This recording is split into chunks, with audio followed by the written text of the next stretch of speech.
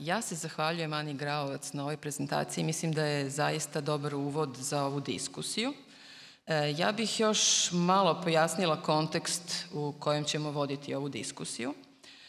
Dakle, sa tim promenama o kojima smo pričali, a koje su se desile 2000. godina, pokrenute su i sveobuhvatne promene regulatornog sistema u Srbiji, znači u državi, znači i zakona, i institucija, i instrumenta. E, zakoni su se menjali, donošeni su novi, u toku su izmene, u toku su e, donošenje novih zakona i ceo taj sistem i dalje traje.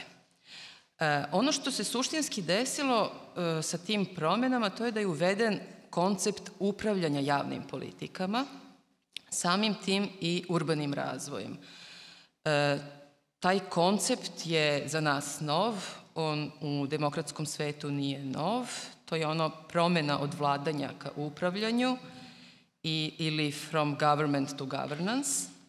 I on podrazumeva legitimitet interesa svih društvenih aktera, znači i aktera i sva tri sektora, mi ih delimo na privatni, javni i civilni.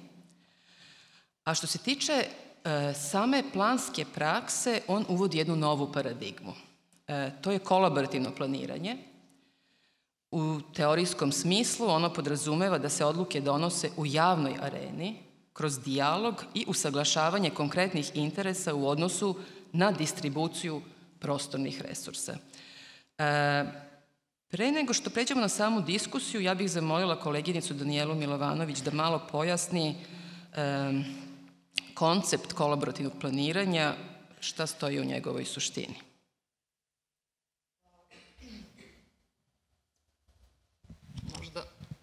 Aha, ipak radi. Pa koncept nije baš tako lako ni jednostavno predstaviti, iako mi se čini da je on sada nama postao neizbežan. E,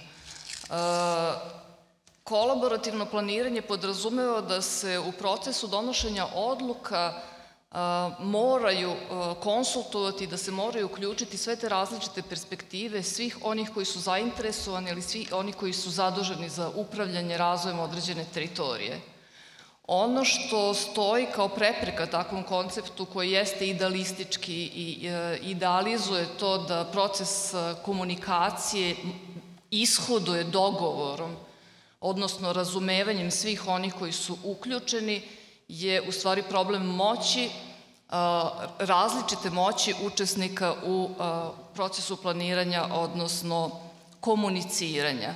I ta moć se reflektuje na različite načine, postoje konflikti koji su vidljivi i veliki broj ovih situacija o kojima smo pričale, upravo su pričali, su ilustracija tih konflikata između aktera koji su različitih viđenja o tome kako bi razvoj trebalo da se dešava, ali i različitih moći da utiču na razvoj. Međutim, ono što je mnogo opasnije i u funkciji čega je ovaj naš javni događaj i ovaj projekat je u stvari učešće moćnih aktera da ukinu dijalog, odnosno arene za dijalog. Odnosno, moćni akteri koji mogu da definišu procedure u kojima se određene teme ili razvoj diskutuje. A najstrašnija i naj, kako bih reklo, ozbiljniji uticaj aktera moći je kada ne samo što oblikuju arene i pravila po kojima se određene teme diskutuju, je kada se utiče na sistem vrednosti i na želje a, ostalih aktera. I to su u stvari ta dva nevidljiva delovanja.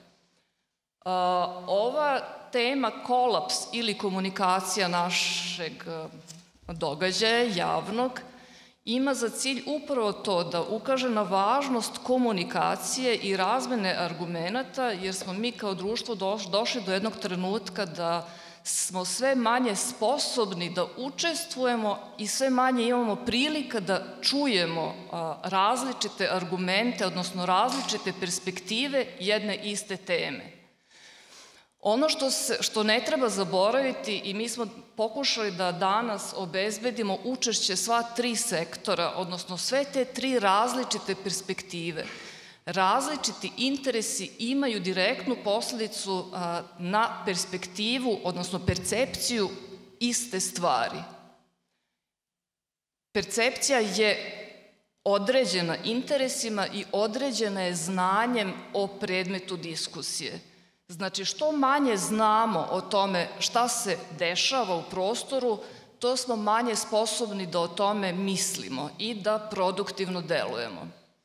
Ideja čitavog ovog projekta je da u stvari mi započnemo međusobno informisanje o tome šta naš planski sistem jeste i na recimo primjeru ovih ili nekih drugih slučajeva probamo da razumemo zašto su se desili konflikti i da iz naših različitih perspektiva pokušamo da saznamo šta bi mogla da budu neka mesta za njegovo unapređenje. Mislim na planski sistem, odnosno način na koji mi upravljamo razvojem prostora, u prostoru. Da ne bih ja sad previše dužila, to jeste osnovna ideja da u stvari od svih nas ovako raznolikih čujemo različita, u stvari mišljenja o tome šta se dešava sa našim gradom, odnosno sa našom zemljom šire. Sve su češće te reči straže, brane, odbrane, frontovi, odnosno mi sve više i više imamo situacija u gradovima i širom zemlje gde se ljudi bukvalno sada počeli i fizički da se suprotstavljaju realizaciji određenih planskih odluka. Dakle, ukoliko nešto ne preduzmemo, mi ćemo ostati bez šanse da taj sistem popravimo.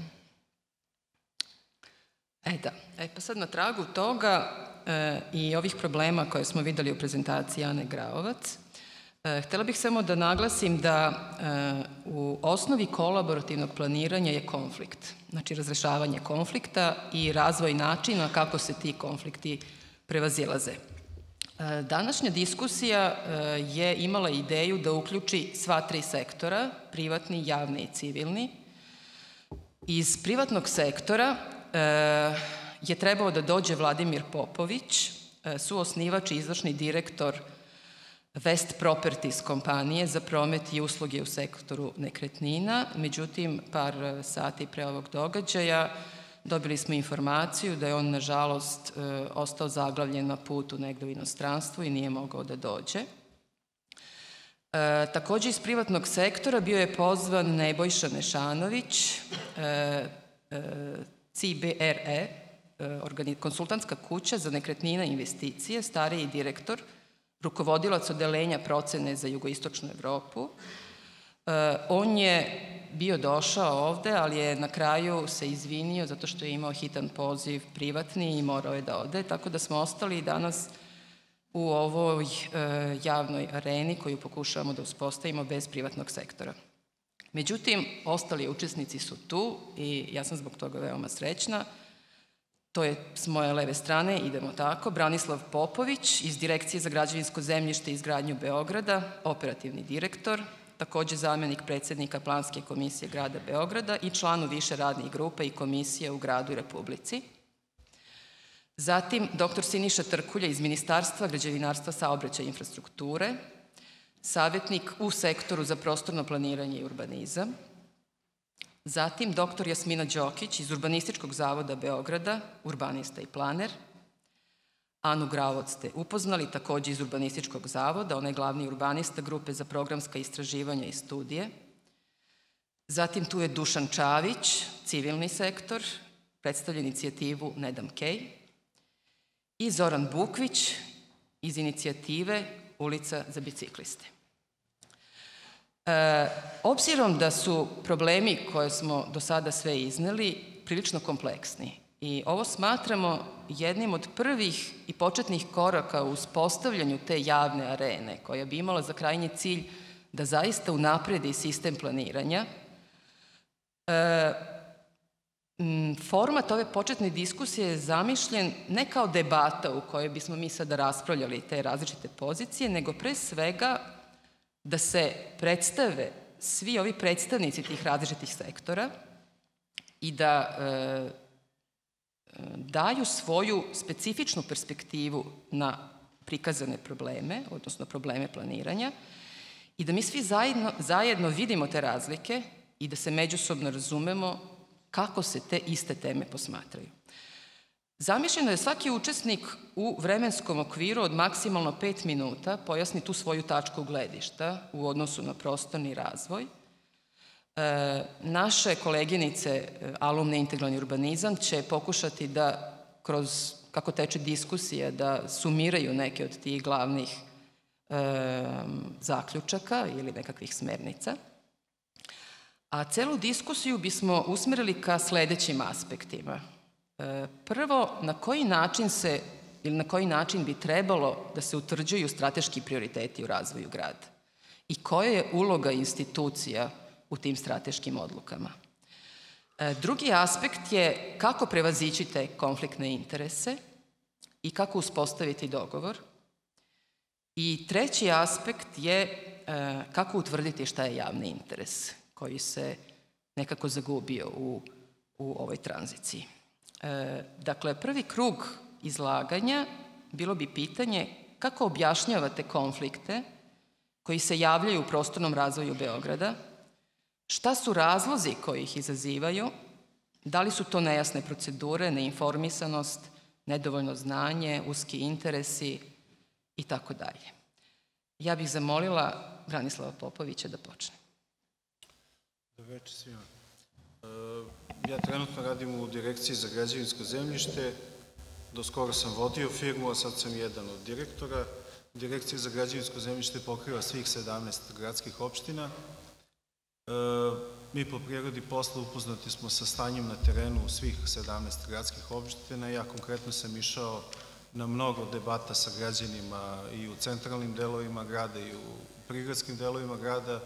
Potpuno je različita situacija kada bi istu ovu tribinu vi održali sad u nekoj mesnoj zajednici, u nekom prigradskom delu grada, sa istim ovim temama, ne znam da li bi vas razumeli uopšte o čemu im pričate, e, zavisno čak i od gradskih opština e, gde, kako držite ovaj, tribinu i vodite diskusiju, e, različite su prihvaćene i naše pozicije i, i pozicije civilnog sektora. Privatni investitori deluju u Beogradu s pozicije bespravne izgradnje ili legalne izgradnje, to su isto različite ovaj, koncepcije razvoja grada. I zavisno od toga da li ste u području gde ima više legalne izgradnje nego bespravne izgradnje, e, možete da dođete do različitog nivoa intelektualnog pristupa diskusiji. U delovima grada gde pretežna ili dominantna ili potpuna legalna izgradnja, imate jednu, da kažem, široku diskusiju u više nivoa razmatranja i više nivoa posmatranja iste stvari. U zonama gde je bespravna izgradnja, njihov interes je krajnje ovaj, primarni, znači hoću vodu, hoću kanalizaciju, svi zidamo bespravno, zidajte i vi. Naš najveći problem u tim područjima je da se objasnimo s njima zašto nama treba plan i zašto i mi ne možemo da zidamo bespravno koji oni što su zidali. E, svaka debata u, tim područjima dolazi do ismevanja sa strane građana, oni misle da je to izgovor za nerad, da je to izbegavanje odgovornosti, da je naše utvrđivanje javnog interesa ekspropriacije u tim zonama uskraćivanje njihove infrastrukture, da pare treba da se donesu iz centralnih delova grada do njih, da i oni plaćaju porez i vi plaćate porez. Međutim, kad posmatrate to u nekom ekonomskom smislu, prva zona grada i njen porez i neka sedma zona grada i njihov porez ili doprinos su nemerljivi, a trošak izgradnje infrastrukture, cena građevinskog materijala, kamena, cevi, asfalta je potpuno ista. Tako da, ako posmatramo, da kažem, način dijaloga i način komunikacije, e, mnogo, mnogo dublja i mnogo teža debata za nas kao, da kažem, predstavnike ovaj, operativnog dela koji nosi finansiranje i izgradnju planske dokumentacije infrastrukture u centralnim delovima grada gde se postavljaju suštinska pitanja, filozofska pitanja, e, svetski trendovi se razmatraju, i mnogo nam je prostije da delujemo negde u, u, na periferiji. Naprimjer, tamo kada radite nešto i oni su nezadovoljni, ali ne e, s time što ste uopšte odlučili da radite, nego što prečnik nije veći ili manji. U centralnim delovima grada imamo situaciju gde ni ne žele da se izvode ove radovi koje započnemo. Mi smo imali par situacija gde smo odustali, tokom izvođenja radova, da jednostavno radnici nisu hteli više da rade kad ih stanari gađaju kesama s džubretom i ovaj, neće da kaže, vidi, šefe, mi nećemo ovde da radimo, ne mogu da nas gledaju očima, prekidamo radove. Imali smo taj slučaj u Matišuminoj ulici, građani su organizovali, pobacali one ograde i, i neće. I mi smo hteli jednom, dva puta da uradimo, ponavljali tender, išli čak i na medijaciju sa građanima, međutim, nema govora, tako da smo tu zatvorili gradilište i sklonili se. I sada, generalno da skratim celu priču, znači novac koji grad ima, on ne može da se sačuva. Znači, da, e, najbolje bi bilo kad bi mogli da zaustavite aktivnosti, ali novac da sačuvate. Pa onda kada se lepo prodiskutuju svi aspekti i problemi te lokacije, da taj novac koji ste zakočili, tu uložite.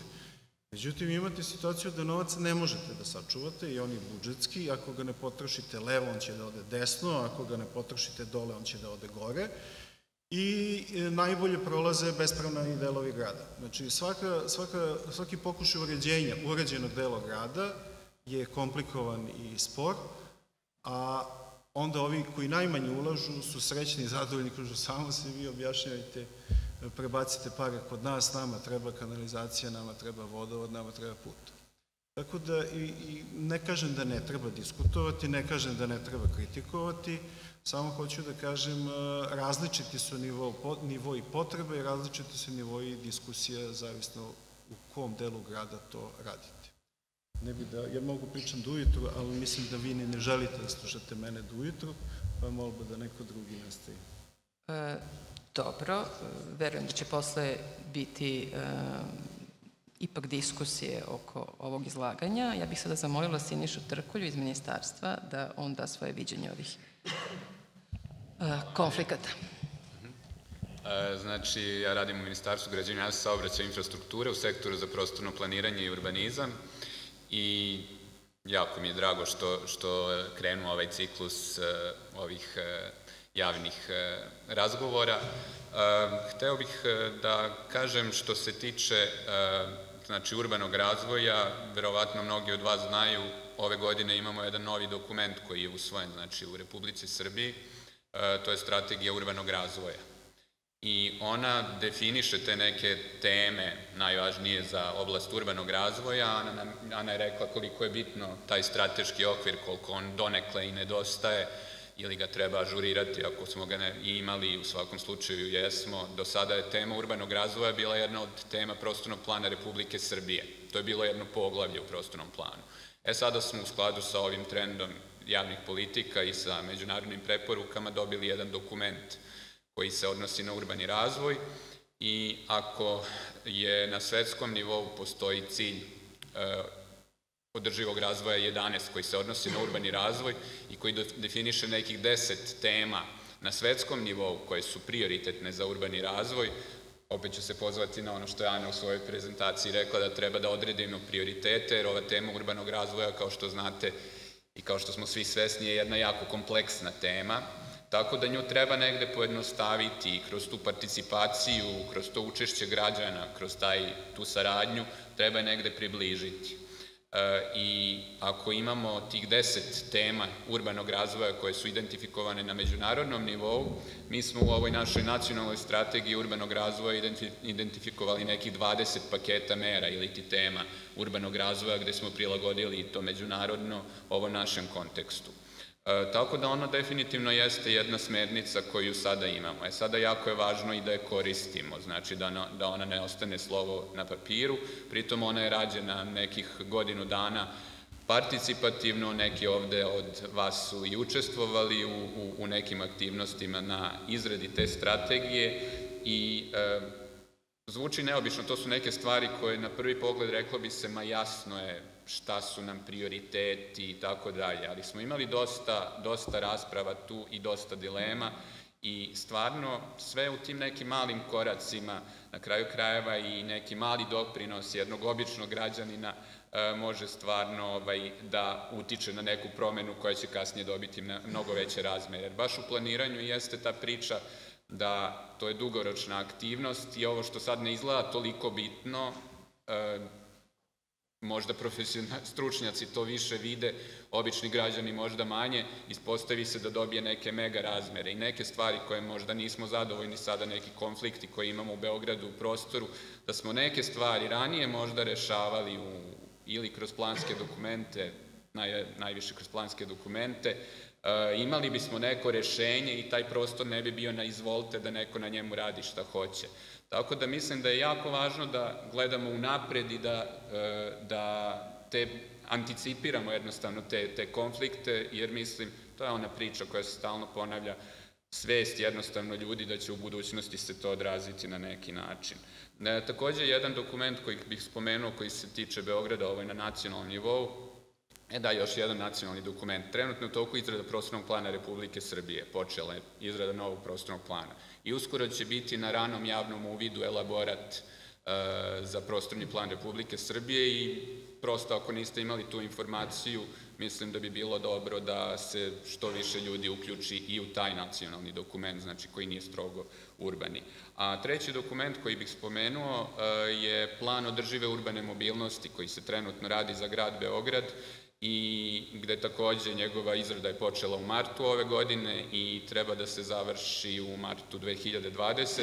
I takođe, urbana mobilnost je jedna od tema koja je identifikovana i na svetskom nivou i u našoj nacionalnoj strategiji i kroz izradu e, tog plana održive urbane mobilnosti se pojavljuju e, takođe konflikti, znači jedna, jedna od tema urbanog razvoja. E, eto, to su neke informacije koje ovako želim, pa onda imat ćemo još jednu rundu, ovaj, pa ćemo nastaviti. Dobro, hvala. E, doktor Jasmina Đokić iz Budičkog zavoda. Hvala, Marija. Pa u, u ovom uh, uvodnom, ja se izvinjam, malo mi je grlo stradalo, ali daću sve od sebe. U uvodnim izlaganjima profesorke Marije i Danijele, ali i uopšte u ovom celom e, uvodnom delu, više puta je naglašena kao nekakva razlika između privatnog i javnog sektora. Znači, ja sam iz ja, e, javnog sektora, ja sam urbanista planer u urbanističkom zavodu. Međutim, ja bih htela stvarno da stavim u fokus tu, e, taj dualizam koji smo postavili. Da sam ja, na primer, urbanista planer u privatnom birovu, Ja bih tamo imala istu urbanističku licencu koju sada imam. To je broj 200 koju izdaje isto to telo svima, svima nama. Morala bih da se pridržavam istog zakona o planiranju i izgradnji, istih pravila, propisa, zakona, e, hirarhije planova i svega ostalog. Dakle, e, in, insistiram na tome da je planiranje javna delatnost i da odgovornost za planersko rešenje Znači, ne samo zakonsku koja je jeli, e, obezbeđena i ovim, ovom licencom, mogućnošću krivičnog odgovaranja i tako dalje, da jednako odgovornost snose e, planeri i u privatnom i u javnom sektoru. E, ono što je razlika između nas u javnom i drugih planera u privatnom sektoru jeste u stvari da je za planove koji se rade u urbanističkom zavodu u najvećem broju slučajeva investitor direkcija, odnosno grad. Znači, mi od grada dobijamo, da tako kažem, projektni zadatak, odnosno ono što treba da se e, da se, da se razradi, da se uradi, da se, e, ovaj, da se podvrgne jeli, procesu planiranja. Iz ovoga jednog malecnog osvrta na tu jeli, dihotomiju privatno-javno, postavlja jedno pitanje i sebi i vama.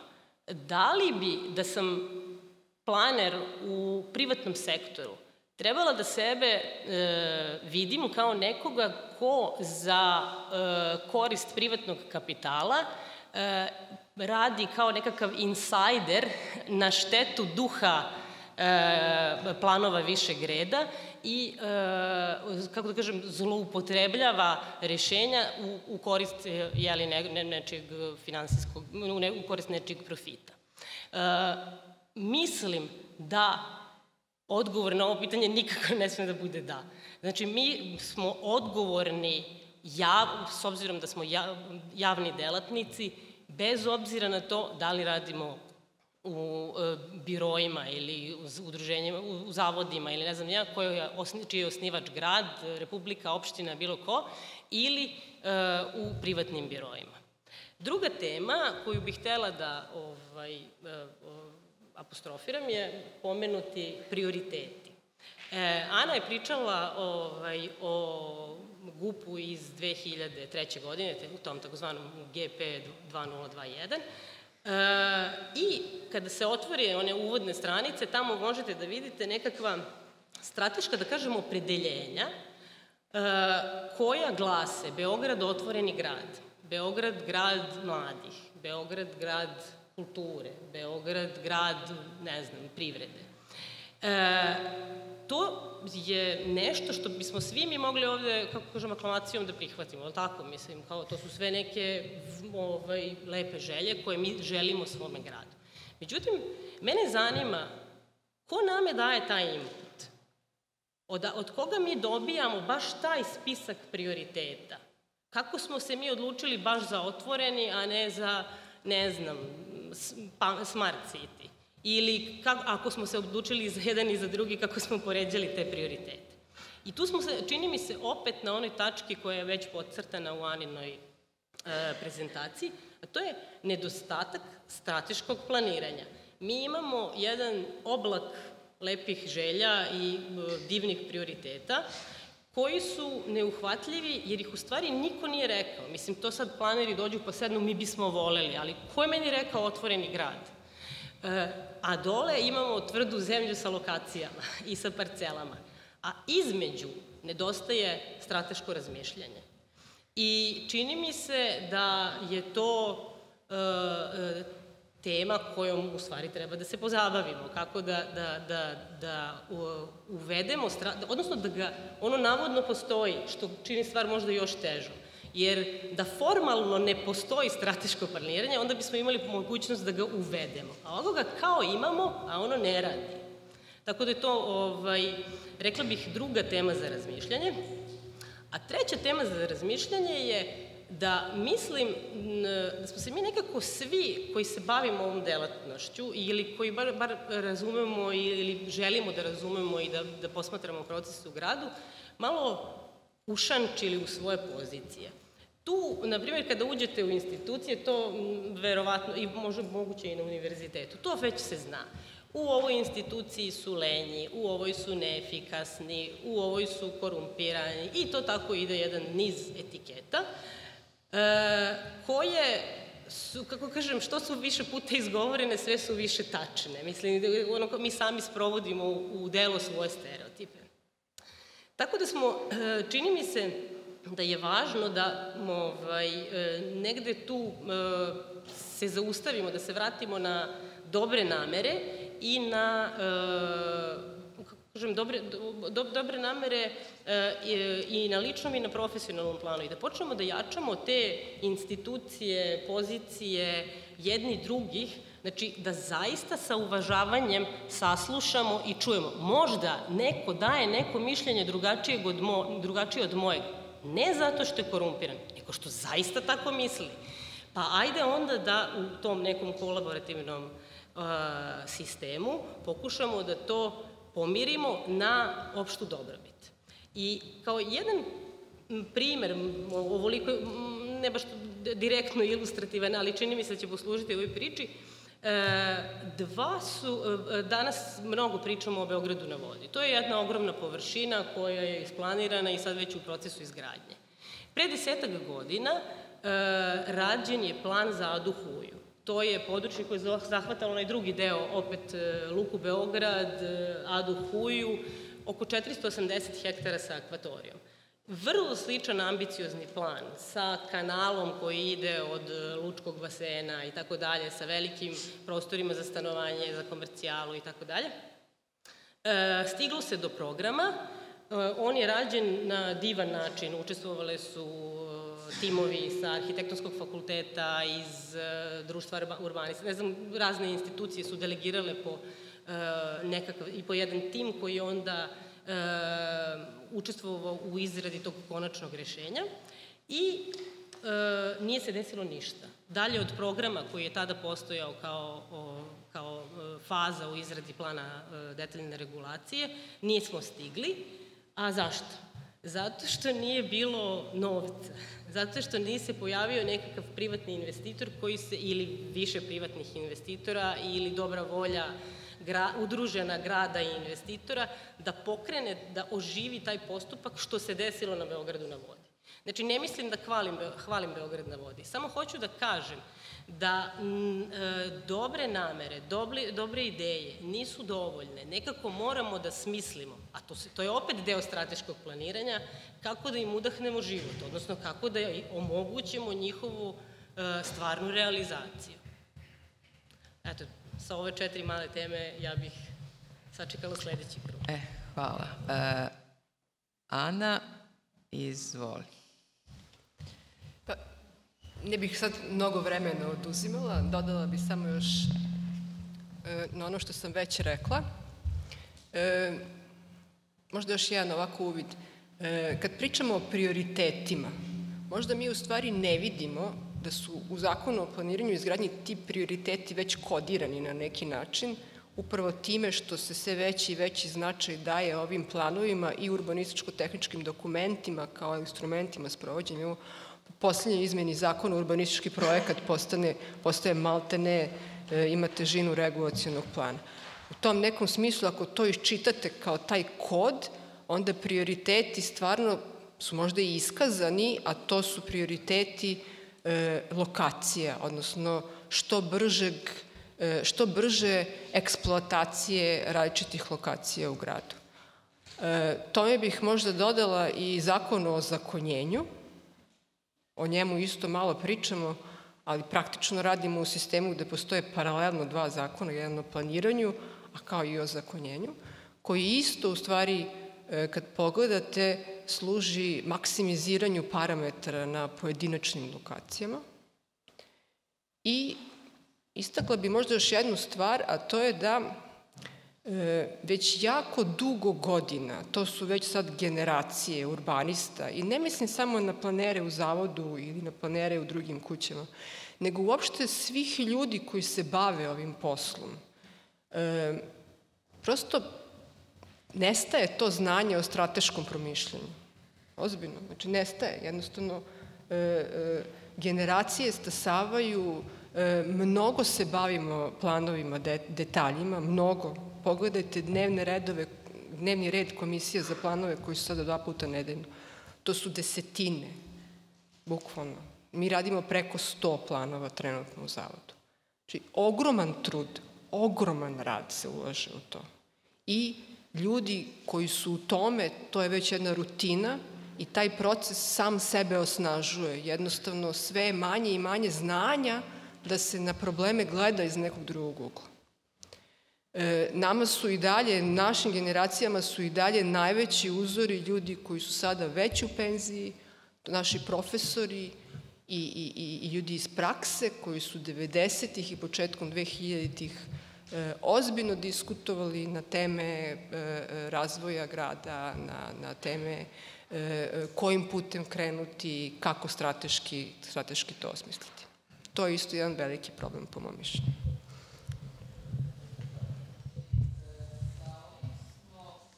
Užili izlaganja javnog sektora.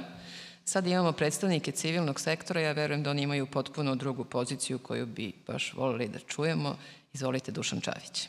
Ja dolazim iz udruženja na jedan kej, nas je organizovao Goran Vesić prošle godine, krajem septembra, kada je rekao da Savskom keju pre, o, sledi rekonstrukcija. Savski kej se proteže u dužini od 2 km u zaleđu novobeogradskih blokova 45, 44 i 70. I s obzirom ovaj, na sve što se dešava trenutno u gradu, sve to što je on najavio nama jako rizično da stavimo po strani koštanje trenutnih tih rekonstrukcija i radova u gradu, ali činjenica je to da se jako loše radi nekvalitetno, s našim parama, da tu ima pronevera, drpanja para, ko zna čega, i činjenica je da je taj kej koji je rađen 70. godina u super stanju što se tiče tih svih voda koja su ga plavile, tih betonskih ploča, bitumena, to stoji, a pitanje je, s obzirom na to da gledamo Kalemegdan, da gledamo Slaviju, Trg Republike 27. marta, em to traje, em se loše radi, posle mora da se sanira. Tako da je to bio jedan od razloga zbog koga smo se mi okupili.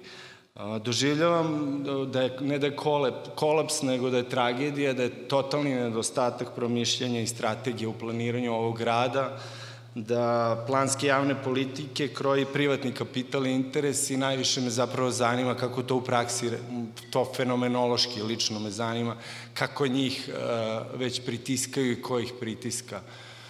Uh, što se tiče tog Keja, da se malo njemu još posveti, mi, nama je najnovija tendencija tamo da praktično više ne vidimo reku, tamo su se pojavili ljudi koji postavljaju plovne objekte jedan do drugog bukvalno, i od njih mi ne vidimo reku i kako smo nezvanično čuli, ovaj, oni su ti sa kojima grad pregovara o novoj odluci o e, postavljanju plovnih objekata. Znači, oni ne razu... mi smo inače kao na jedan case kupili skoro 6000 potpisa, peticije, koja se tiče toga da se taj Savski kej e, razvija u skladu sa potrebama nas građana, da naše zelene površine ostanu zelene, pošto je ovaj čovek izjavio da će Kej biti rekonstruisan po ugledu na Sava promenadu da je 80% pod asfaltom a kod nas isto toliko pod travom. Takođe smo nezvanično čuli da hoće da nam šire tu srednju neku stazu, da tu prave nove ugostiteljske objekte. Znači, sve je to neki interes uh, surovog kapitala. Ali, pošto živimo u bloku 70, evo, samo ću da se fokusiram na taj potez omladinskih brigada Jurija Gagarina. Znači, Jurija Gagarina nas čeka novi Beograd, mini Beograd na vodi na mestu brodogradilišta i autobuska stanica, probijanje Jurija Gagarina, spajanje sa autoputem, preko puta Belvila niče novi kompleks grada, IMT postaje takođe novi blok površine, verovatno ko 70 ili 45. Trenutno u omladinskih brigada, kad prođete ovaj, posle opštine, onaj nadvožnjak pružni, s desne strane taj Vest 65 eh, koji gradi, ne znam, ogroma neki oblakoder, ja mislim da oni nemaju ni jednu zelenu javnu površinu onome što trenutno imaju. Tu u zaleđu kod njih se još grade neke stambene zgrade. Zatim vam sledi s desne strane Airport City sa onim avionom, aviona više od, u, neće biti, tu će biti tri zgrade od po 17 pratova. Posle toga je Ćošak kod Rodića ideje, koji je upravo raskrčen ovih dana, tamo je, to je neka šiblje bilo, zelena javna površina, to sam isto uspeo da pronađem, tu će isto stambeni kompleks biti ti neki ljudi koji grade na mestu Beka, će tu sagraditi nešto. Kako ćemo svi mi koji sada tu da prolazimo i ovi koji će tek prolaziti, kako mislite da ćemo mi da se krećemo kroz, kroz taj deo grada? Gde mislite da ćemo mi da se lečimo? Gde su neke javne, gde je neka javna infrastruktura? Znači, ja sam tu rođen. Kad sam rođen, bilo je više dece, manje obdaništa, tu sam išao u vrtić. Dete sam dve godine vodio, sa dve godine sam ga vodio u blok 38 u četvrti po udaljenosti vrtić. Pre tri godine sam išao u svoj dom zdravlja u bloku 44, gde pre kad se razboliš primete do kraja smene. Sad mi je žena rekla da mora da se zakaže 10 dana unapred. Mislim, ono čovjek da umre za tih 10 dana ako se razboli. To nije zbog stanja u zdravstvu, nego upravo zbog toga što nam ovaj, po jedna, jedna po jedna površina u blokovima tu se grade ili novi blokovi ili nove zgrade u postojećim blokovima. Znači, mislim, vi parališete grad.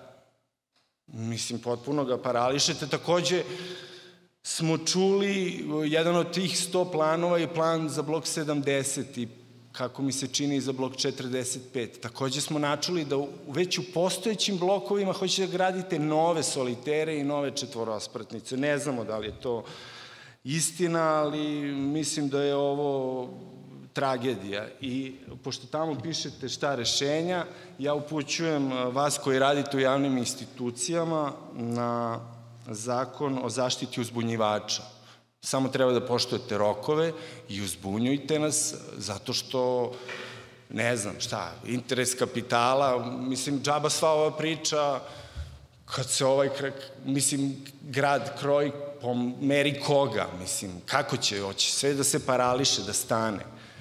Mi smo bili, bio sam sa Zoranom u Beču, oni su pre 30 godina doživeli, uh, shvatili u stvari da postoji neki problem uh, u mobilnosti u samom gradu i oni su se izborili za to da tamo u špicu sada imate gužvu i frku i šta ti ja znam, ali inače je prohodno. Da li postoji, da li se osmišljava neka strategija za prohodnost i kretanje po gradu stanovnika za lečenje, za obrazovanje, za kulturne potrebe, da li taj, iz opštine Novi Beograd kažu blok A, oni se bune, nemaju ni jednu zelenu javnu površinu.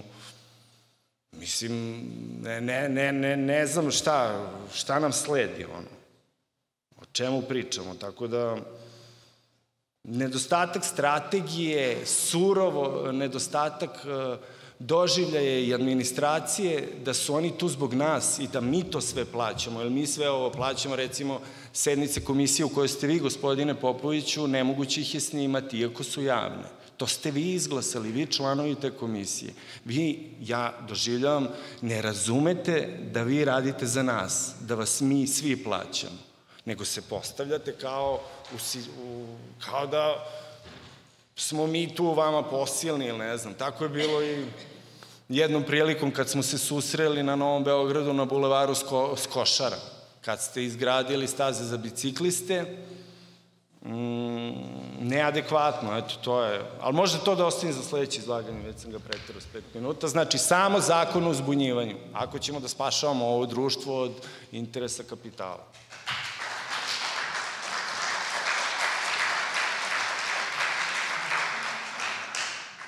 Dobro, to su bili neki predlozi.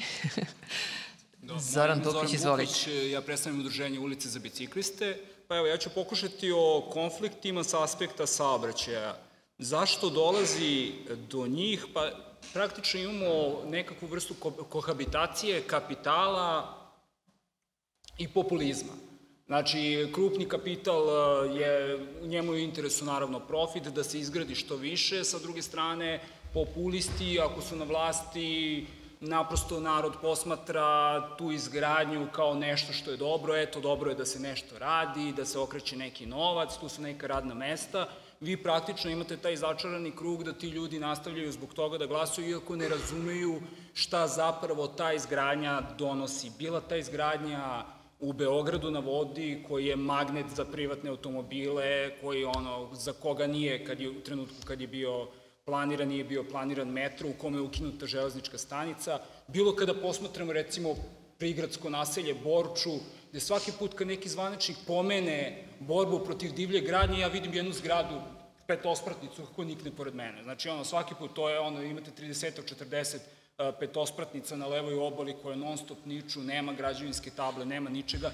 Tako da praktično taj kapital bilo da je iz sive zone, bilo da dolazi nekim, da kažemo uslovno rečeno, legalnim putem na, na neki način generišen uh, način na koji će se saobraćaj u gradu razvijati. Ako gradite u Borči, naprosto ti ljudi nekako moraju da stignu do grada, treba da za njih da se osmisli javni prevoz, ako je to naselje neplansko, kroz njega ne može da prođe autobus, onda moraju da prolaze oni mali kombi, ovaj, ukoliko imate Beograd na vodi bez šinskog sistema sa ukinutom železničkom stanicom, on će praktično, ti ljudi koji budu tamo radili sigurno neće dolaziti s globnim autobusom iz koga će da vise, sigurno će dolaziti privatnim automobilima u taj novi poslovni centar, tako da vi tu praktično imate taj priliv kapitala suprotstavljen javnom interesu.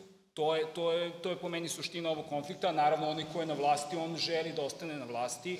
Kad pogledate koliko je potrebno da se izgradi jedna linija metroa, to je najmanje dva mandata. Koji političar u ovoj zemlji razmišlja da će sad ono, on jednostavno gleda da se održi na vlasti u svakom momentu, ako će da krene da kopa taj metro, pa to treba da prođe 10 godina, grad je raskopan, nervoza i sve ostalo, naravno da će uraditi onu stvar koja će njemu doneti više političkih poena, a to je svakako i između ostalog nezameranje ljudima koji voze privatne automobile. Naprosto ni, ni jedan političar to neće raditi. To smo mogli da vidim recimo na primjeru a, poteza od Vukovog spomenika do Zološkog vrta, a, znači ulica koja je bila rekonstruisana. I ovaj izvaredan, izvaredan moment da se nadovežemo i na priču o strateškim i ovim operativnim planovima.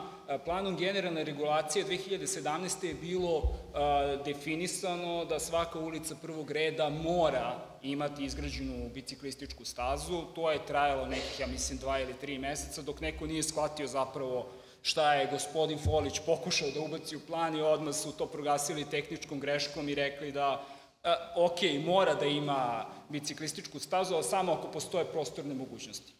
Znači, pro, ako kažete, a samo ako postoje prostorne mogućnosti, a naravno, hvala Bogu da građani nikad, nikad se neće odreći svog parking mesta i svi će se buniti kada se suzi kolovoz da bi se izgradile biciklističke staze i vi na kraju praktično nikada ta, tog, te prostorne mogućnosti za biciklističku stazu u centru grada gde su biciklističke staze najpotrebnije nećete imati. Takođe, taj povećan broj automobila u centru, on jednostavno zakračuje javni prevoz. Imate smart plan koji je urađen, ja mislim, 2017. godine, imate ga na sajtu grada, on kaže da ukoliko za 10 godina mi ne budemo ništa uradili po pitanju rasta broja automobila, stepen motorizacije raste, ja mislim, 3,5% godišnje, ovaj, na kraju ćemo za 10 godina na svim većim raskrsnicama u gradu imati saobraćeni kolaps, evo kako se zove i ova, ova tribina ovde. Međutim, ja ne vidim da, da se nešto konkretno radi po tom pitanju. Ok, imamo taj plan, plan udržive urbane mobilnosti, ali pitanje i, i ukoliko se on donese, da li će postojati politička volja da se taj plan zaista isprovede, da li će vlast imati hrabrosti da u svim tim ulicama prvog reda u centru grada odvoji prostor za biciklisti, da kaže ok, mi ovde planiramo da narednih 10 godina povećamo procenat ljudi koji će se kretati biciklom sa sadašnjih 0,7% na 10% i tako ćemo smanjiti broj automobila u centru i poboljšati protočnost javnog prevoza. Ja ne znam, mislim nisam siguran, ono, verujem da će se to negde na nekom strateškom dokumentu napisati, ali da li će se to sprovesti, iskreno vam kažem, ja bih pregledao odakle dolazi novac, kako se dobijaju glasovi i da se vratim na, ne, nekako na, na rešenje, šta bi bilo zapravo rešenje nekako doći do većeg broja mladih ljudi, pričati sa njima, pokušati da se bude aktivan u javnoj sferi, što mi eto pokušavamo već 7-8 godina i da nekako stvorite glasačko telo koje će sutra, da kažem, biti neka vrsta štapa, ili ono kao štap i šargarepa postoje, vi za, za nekoga, da biste nekog privolili na razgovor, vi morate da imate taj, taj, taj neki ono svoj kapital, ako vi nemate glasove kojim ćete nekoga primorati praktično da sutra sa vama sedne za sto, ne vidim zašto bi neki privatni investitor ili bilo koji političar sa vama uopšte sedao za stolom ako vidi da sve što želi da ostvari, on može da ostvari time što ima kapital, što ima glasački potencijal, naprosto vi nećete biti za tim stolom. Sve do, do momenta dok ne budete dovoljno jaki u javnoj sferi, dok se ne budete pojavili, dok ih na taj način ne budete ugrozili da se oni zabrinu, e, čekaj, ono, kao vidi, ovi mladi sad glasaju za, ne znam, ono, cirkularnu ekonomiju, za održivi transport, to je sad, daj, moramo i mi da se promenimo, daj, moramo da se menjamo, daj, sedi sa njima, vidi šta možemo da uradimo. Dok to ne bude postojalo, ja mislim da, da će situacija biti, što bi se reklo, business as usual i da ćemo imati ovaj status quo koji imamo, imamo sad. Da ne dužim previše, Da li želiš ti nešto da kažeš pre drugog kruga pitanja? Pa, imam puno toga da kažem, ali ovaj, prosto možda da sačekamo drugi krug. Dobro. E, ja mislim da možemo da se usaglasimo da je jedan od sigurno pravaca o kojima će struka morati da se konsoliduje i da razmišlja duboko, to je način na koji se planira strateški i kako se te strateške odluke donose, ko ih donosi i na koji način ćemo ih sprovoditi. A ja bih sada pokrenula e, drugi krug e, izlaganja sa pitanjem kako vidite moguće načine za, prevaži, za prevazilaženje iznetih problema, evo recimo konkretno u preizgrađenosti grada i obezbeđenju servisa za građane. Izvolite. Da, redom. Znate šta, slušam kolege ako mogu da kažem sugrađani, ajde, ne moram da kažem kolege, civilni sektor. Sada, e, šta je po mom mišljenju glavni problem Beograda? Beograd e, nema jedinstveno izgrađeno tkivo. Znači, rastoren grad i nasilno spojen u jedan grad. E, imate prigradske opštine koje u pitanje je da li treba da budu gradske opštine ili treba da budu samostalni gradovi. Obrenovac, sposoban da bude potpuno samostalan grad. Lazarevac, 75 km udaljen od Beograda, mi idemo tamo da im mi određujemo e, koju ulicu ćemo da im asfaltiramo i šta ćemo da radimo, Brenovac isto, Mladenovac, Grocka, Sopot, Barajevo, Surčin. E, kad pričamo, na primjer, o biciklističkoj stazi, sećam se događaja da li je nazubljen Ivičnik ili Ivičnik u Ravni, predsednici opštine iz tih opština su oduševljeni kad vi imate primetbu na nazubljen Ivičnik, samo ću prebaci pare vamo, nama treba asfaltiranje, treba kanalizacija. Pošto živimo, to je demokratija, znači kad imate 17 opština i pola od tih predsednika opština kaže ne, nemojte folićeve staze, daj ovamo kod nas i mi imamo građane, ovaj, njima treba nešto da se reši, onda, pošto pare, kažem, ne može da sačuvati, jer su one budžetske, odnosno zajedničke, onda, na primjer, ono što bi trebalo da se uradi u centru grada i što je problem, ta biciklistička staza, ona bude abstrahovana s time da kaže, pa dobro, ok, imamo mi preča posla, ugasi, smanji, suzi, prebaci ovamo. E, naprimjer, Stari grad i Vračak bi se poubijali za nešto što je njima bitno, to ovima drugim uopšte nije bitno. Mislim, potpuno ne razumeju što je to vama toliko bitno, kada njima je nešto drugo bitno. U opštoj masi 51% glasova, oni kažu nama je bitno da vama to ne bude bitno, nek ide kod nas. Tako da mislim da Beograd ovako sastavljen nije jedinstveni grad i ne može imati jedinstvenu filozofiju. Ovo što, ovaj, ajde vi kažete blok 70, evo nek bude da sam ja 70A, Sava se ne vidi koliko se ja sećam još od 90. godina. A sad se zgusla pa se ne vidi uopšte. Kao ovaj, ona zaštitna ograda pored autoputa, sad imamo zaštitnu ogradu od reke, znači ne vidite reku. Ovi što žive u onim dvospratnicama, četvorospratnicama, nisu mogli da žive od muzike još 90. godina. E, ja sam prestao više da šetam tu, sad šetam pored Novog, ovaj, pored Dunava, tu mi veća tišina, ali tamo je ono postalo pakao. E, sa bukom već 20 godina je buka. Jedino imate onim filmovima našim starim, e, par, kad gledate ovaj, filmove ljubi, ljubi glavu ne gubi ili ne znam šta, kad prikažu ovaj Savu, pa nema ničega, samo kej. Ali to je bilo davno, ima preko 35 godina.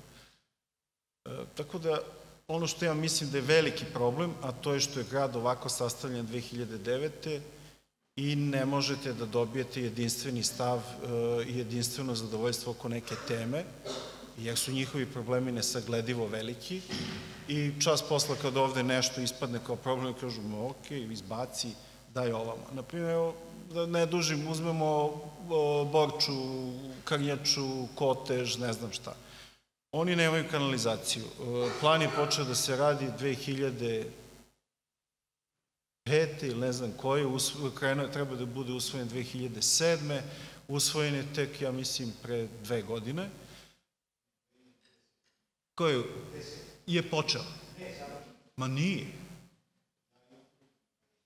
Ne. Ne, mislim, ni, ajde neke, evo nek bude i to. Ovaj, radili smo neke projekte ove, one, došli smo najzad sada dotle da smo radili neku strateški projekat razvoja kanalizacije, pregovarali sa Evropskom bankom od 2017. Oni su odmah rekli to je nesporno, za vas mora biti prioritet da uvedete kanalizaciju u to naselje.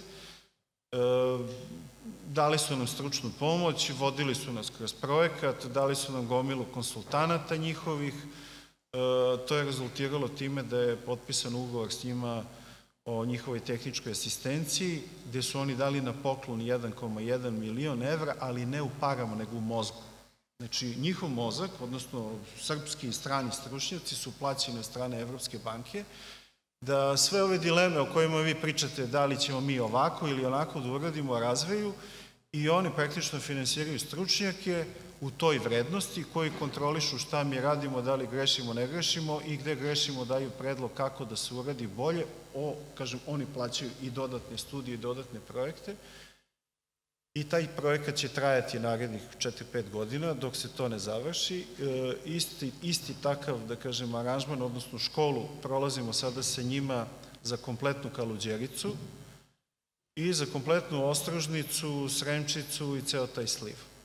Tako da, ono čime se da kažem, trenutno ovaj, bavim je lečenje bespravno izgrađenih naselja i uvođenje reda u, u smislu zaštite životne sredine, ekologije i sprečavanje zaraze od fekalnih otpadnih voda koje se bacaju svuda okolo. I to je neki program koji mi pokušavamo da uradimo, ali tu, ovaj, kažem, smo upisali školu na neki način sa evropskim institucijama, Evropskom investicijom bankom, njihovim stručnicima, sve u cilju da taj projekat stvarno uspe i da se minimizuju greške i u nekoj našoj želji da se to brzo, brzo, brzo, brzo uradi, naprave velike greške. S njima ne možete da uradite ništa preko noći, preko kolena, ima niz odobrenja, saglasnosti banke, stručnjaka, mora se prođu sve i oni čekinzi, Tako da ovaj, to su tri projekta velika na kojima radimo, a sve ove usputne, da kažem, usputni ispadi o nekim manjim projektima, e, nadam se da će u budućnosti preći u velike projekte kakva su ova tri. Znači, rešenje saobraćaja, da li ćemo jednu ulicu da uradimo ili nećemo, nije nikakvo rešenje. E, mora se ide na veći potez, na veći paket. Kad radiš veliki paket i, i veliki aranžman, onda su velike oči koji te ugledaju i ne možeš da napraviš e, sitne brljotine. Mi pokušamo da radimo veliki paket, veliki hod, makar što se tiče ove kanalizacije. Ko, e, koji bi bili predlozi, recimo, sada za unapređenje? Šta bi to bilo prvo što bi trebalo uraditi da bi se stvar mogla poboljšati? E, znači, o, o, ultimativno je zaustaviti na svaki mogući način bespravnu izgradnju, ali ja ću vam ispričati jedno moje iskustvo od 96. godine, Kratko, evo najkraće, 96. godine bilo je ovaj neko savjetovanje Jedinih nacijama i pisali rad mladi urbanisti protiv bespravne zgradnje. Ustane jedan Nemac, stari gospodin, kaže, molim vas, gospodine Popoviću, prestanite te gluposti da mi pričate.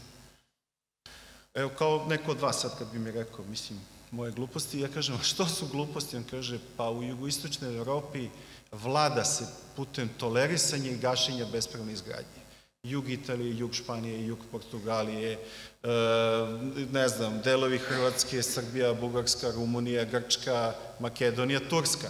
I kaže, istraživanje svih nas iz Evropske ovaj, Ujedinih nacija govore o tome da se vekovima vlada na taj način. Mi kao mladi stručnici kažemo, nemoj da pričaš to, mi ima sve da zaustavimo. I tu smo i dalje gde... Ko to Imate neku ideju? Ko to treba da uradi? Da. da. E, što bi rekao Johnny Štulić, recite narodu da se javnost buni. E, znači, dok nema, dok javnost, dok većina nije protiv toga, ne možete to zaustaviti pobunom manjine. Znači, kad trošak održavanja tih e, bespravnih naselja postane toliko nepodnošljiv za, da kažem, ljudi iz prve, druge, treće zone i ne kažu, stante bre ljudi, šta radite, mi to nećemo više da finansiramo, to se neće zaustaviti, po mom mišljenju. Znači, dok ljudi ne shvate da to u stvari ćutanjem se plaća. A kažite mi u, dove, u domenu vaših mogućnosti, znači vašeg sektora, šta bi ste mogli da uzmete kao prioritet da može da se poboljša i da se unapredi čitava stvar? Znači nešto što jeste u vašim rukama. U mojim rukama ova kanalizacija. A šta sa njom? Pokušavam da izlečim lošu životnu sredinu i ekološku zarazu u naseljima, ogromnim naseljima koji su endemski upropašćene bespravno izgradnje. A da li tu uključujete recimo i vodotokove, Savo i Dunav? Da, uradili, mislim, glupo se hvalim čime sam uradio, to je besmisleno, pošto je nikome ne sviđa ovaj, svi imaju neku kritiku, ali uradili smo idejno rešenje, na primjer, obalu utvrda i Save i Dunava, i to gleda ovaj, ceo svet i to prekontrolisu i sad pokušaju da se nađu fondovi za to. Uradili smo sliv Topčideke reke 150 km svih pritoka koji su pune fekalija, i onaj čukarički rukavac nesretni je u stvari zatrpan fekalijom. Nije on zatrpan nekim draguljima i ne znam čime, već i svih ovih bespravnih nasilja se besomučno Cerčuge FI-400 puštaju iz grada od pet spratova, on gurne ovaj, fekalije direktno otvoreno u potok. Naprimjer, ono što trenutno lečimo je Beli potok i Pinosava, to su naselja koje su izgrađena bespravno, pustili su bespravnu kanalizaciju komšiju njivu i zagadili su mu dva hektara njive sa fekalijom koje rastu svaki dan. I sad mi tu radimo, na primjer, dva postrojenja za pregradu otpadnih voda, isto to imate u Višnjici, imate svuda. Zato kažem, naše debate, naše, vaše debate, imaju smisla, ali morate ih pomeriti kod njih. Vi nemate javnu debatu kad čovjek zida bespravno. On uzme zida bespravno u centru grada, bez ikakve javne debate. Ja da ga srušim, ne bavim se time. A, a ne bavim se time zato što ne, ne, ne mogu se bavim svim živim na ovom svetu. A drugo, i čovjek je racionalno biće, izabere kad shvati da li nešto može da ustoji, ne. A drugo, slušam čiku Nemca koji mi je objasnio kako se vlada u jugoistočnoj Evropi pre 30 godina, kad mi je rekao sam smešan i glup. Tako da držim se toga da je on u pravu i ja ću i dalje ostanem smešan i glup. E, dobro. E, hvala. E, Siniša Trkulja, da li vi imate neku preporuku? Šta biste mogli vi iz vašeg domena da uradite da bi se ove stvari... Imam dosta preporuka. Hteo bih da kažem Dušanu da sam i ja iz blokova, isto, isto živim u blokovima. Od 85. sam tamo kod Savskog Keja i ovo sa tsunamijem recimo i te sve priče, mislim to je očigledno. Kad sam ja došao 85. samo Savski Galeb je bio tamo. Sada se stvarno ne vidi ni Ada Međica, ni Ada Ciganlija, mislim, e, to sigurno je počelo 90-ih, ali je sada dostiglo neke granice. Bilo se po prirodna stvar, zatrpava i sve. Da, po inerciji neko. Ali ovaj, e, osvrnuo bih se na strategiju e, urbanog razvoja. Mi imamo recimo tu jedan paket mera koji se odnosi na javne prostore, to je definitivno javni prostor. E sada, šta je tu strategija urbanog razvoja na nacionalnom nivou? Prepoznaje to kao prioritetnu temu, ali e, to se sve to je jedan mozaik od svih mogućih kockica koje se slažu, pa se pozoveš na strategiju, pa onda se to razradi planovima nižeg reda, pa se uključuje javnost i svi ti elementi zajedno će da doprinesu da se nešto stvarno desi u prostoru. Znači, stvarno ta kompleksnost planiranja je činjenica jedna i, i, i sve to, zato je i ova naša večerašnja debata jako bitna, nismo ni svesni koliko je bitna ova naš, ovaj naš razgovor. E, i, I sve to samo treba da ide u dobrom smeru i da ne krenemo sve iz početka, nego da, da nastavljamo u tom smeru.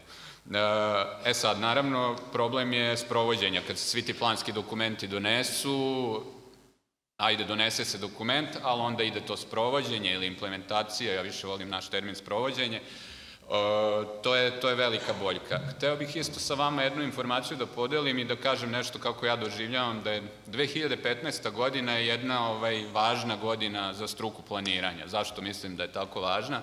Zato što je to godina kada su doneti svi prostorni planovi svih jedinica lokalnih samuprava, znači svih opština u Srbiji, kada su doneti svi regionalni planovi, kada smo dobili potpunu pokrivenost planskim dokumentima u Srbiji. Takođe je bitna i na međunarodnom nivou, jer te godine 2015. donete prvi dokument na globalnom nivou koji se zove Međunarodne smernice za prostorno i urbanističko planiranje.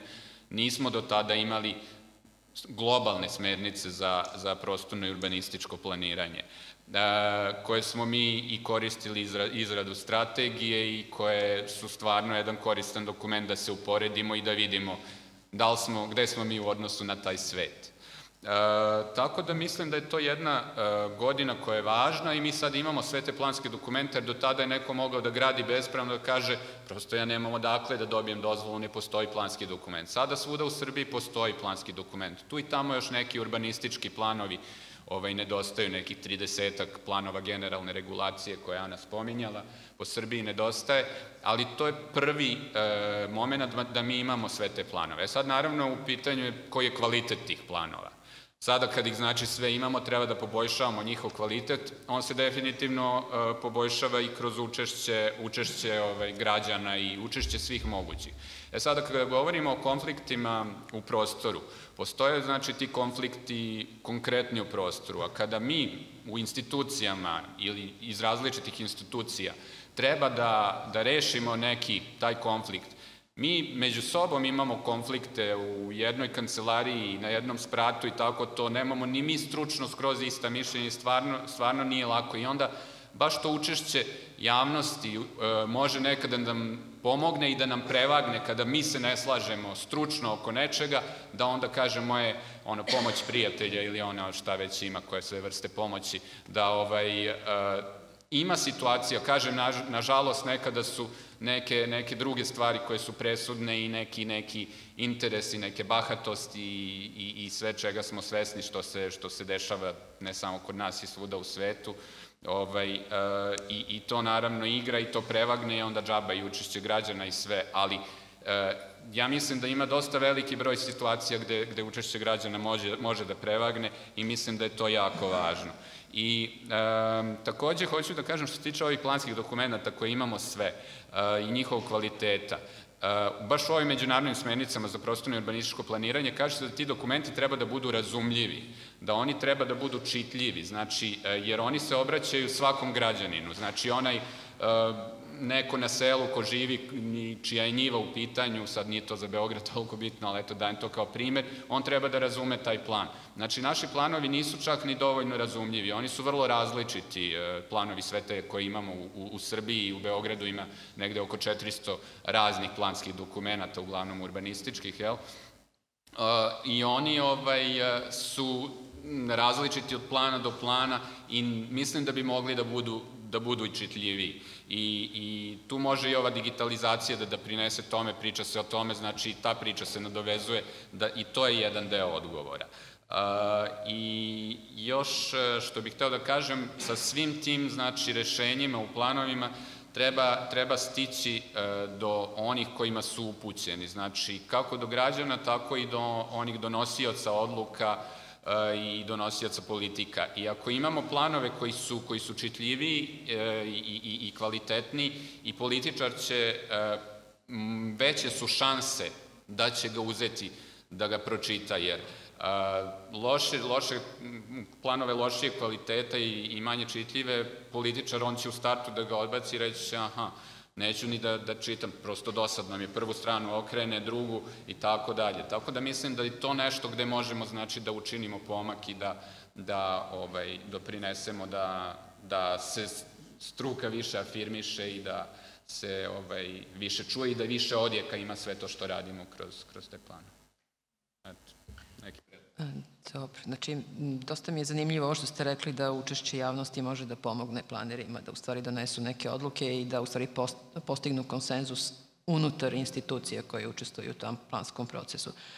E, obzirom da nam je e, GUP sada, je da, pred nama, znači novi, koji bi možda trebao da reši sve ove probleme na koje se građani žale po blokovima, e, koeficijenata, preizgrađenosti javnih prostora. Kako vi vidite e, mogućnost rešavanja tih problema? Šta vi tu predlažete kao neka rešenja? Pa, e, GUP, e, GUP je jedno oprostorenje generalnih politika koje jedno društvo, odnosno zajednica, grad, usvajaju. Znači, odnos prema životnoj sredini, odnos prema ekonomiji, odnos prema stanovanju i tako dalje, oni, se, oni imaju neke svoje prostorne aspekte koji se onda e, kroz GUP e, definišu. Znači, GUPA nema bez nekog vrednostnog okvira i nekog, kako da kažem, e, e neke vizije razvoja grada e, iz, koje on, iz koje on proizilazi. E, dakle, GUP može da bude onoliko dobar koliko smo mi kao društvo u stanju da dobacimo. Jer je to jedan toliko složen dokument u koji e, ulazi strašno mnogo inputa iz, od različitih institucija, od različitih sektora, privatnog, javnog, civilnog, ovako. Znači, sve to treba da se slije i da nađe svoje prostorne manifestacije u jednom dokumentu.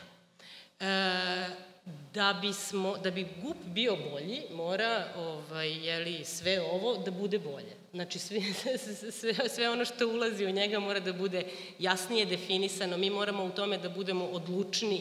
Znači, mi smo, na primer, za, kako ste rekli, cirkularnu ekonomiju, održiva razvoj i tako dalje.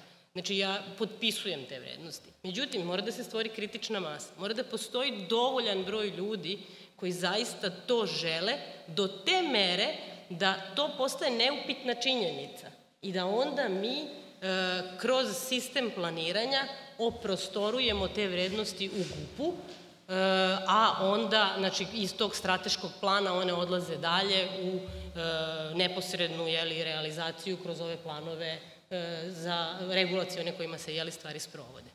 Znači, dok se sve, on, da se u stvari vratim na, na, na prvu rečenicu, dok e, mi, GUP ne može biti bolji nego što je društvo, odnosno zajednica koja ga pravi.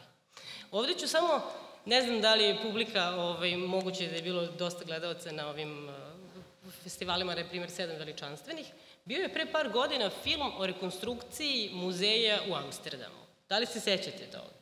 Znači, e, pitanje jedno koje, od, koje sa početka je bilo da li su sporne procedure, informisanost, znanja, ovo ili ono. Ne, sporna je naša odlučnost da zaista dođemo do kompromisa. Jer oni su, mislim, sad vidim da neki su gledali film, znači oni sede i pregovaraju danima, mesecima, probijaju se svi rokovi. Jednostavno, postoji čvrsto opredeljenje da se zaista nađe rešenje koje će biti e, koje će biti maksimalno dobro, odnosno minimalno štetno po svaku od tih zainteresovanih i uključenih e, grupa. E, tako da ja zaista verujem Mi e, formalne instrumente imamo, pro, ovaj, znači GUP ćemo da pravimo u, u narednim godinama, to je neki posao koji treba da se uradi. Ali mi treba stvarno kao e, profesionalci i kao svi oni koji su uključeni u taj proces da dobacimo dotle, da želimo te vrednosti da implementiramo i onda sprovedemo u prostor. A to mora bude bitno i građani. Da, a naravno, Širom Beograda. Naravno, to sam... Širom Beograda. Da. Ono što je vama da. bitno za GUP sad, pa bi se ubili ili pobili za to. Isto tom Beograđu je potpuno nevažno. Tako je. Jer ne zida, kažem, bespravne te zgrade, ne zida ista osoba, isti neki političar, neko, to zida narod koji se doseljava u Beograd, besomučno se doseljava u Beograd i sve živo ruši pred sobom da dođe do što bolje pozicije da se naseli ovde i on će da se upiše u vrtić pre nego vi vaše dete što će upišete, jer zna ovoga i onoga i, i jednostavno njegova rođaka, sestra, tetka, naći će mu mesto, vi će ispadnete. Znači, ovo... U Beogradu je besomučno doseljavanje. Besomučno. O, ovo, ovo verovatno sada spada u... Ali ja se, demografska slika to ne pokazuje. Pokazuje Ako... migracioni saldo. Migrac, baš... Vi imate unutrašnju migraciju koja nije izazvana demografijom. Jednostavno imate migraciju unutar Srbije, gde ljudi stižu u Beograd. Dobro, ja bih sada ovo u stvari prebacila možda na naš teren, a to je ta edukacija. Znači, treba u stvari više posvetiti pažnju edukaciji, odnosno možda medijima koji bi trebalo da premovišu neke vrednosti. E, ako možemo dalje, Ana, kako vi vidite, šta bi pomoglo? Stvari, nadovezati na sminu, mislim da je neophodno da je neophodno u stvari jačanje te društvene uloge, plana, gupa i planiranja uopšte. I da mi nekako, bez obzira iz kog smo sektora, civilnog, javnog, privatnog, nije bitno, da mi u stvari treba da se dogovorimo oko tih društvenih vrednosti koje treba taj plan da predstavlja. Zato što nasuprot društvenim vrednostima očigledno stoje vrednosti privatne i, i, i vrednosti nekog e, pojedinačnog kapitala.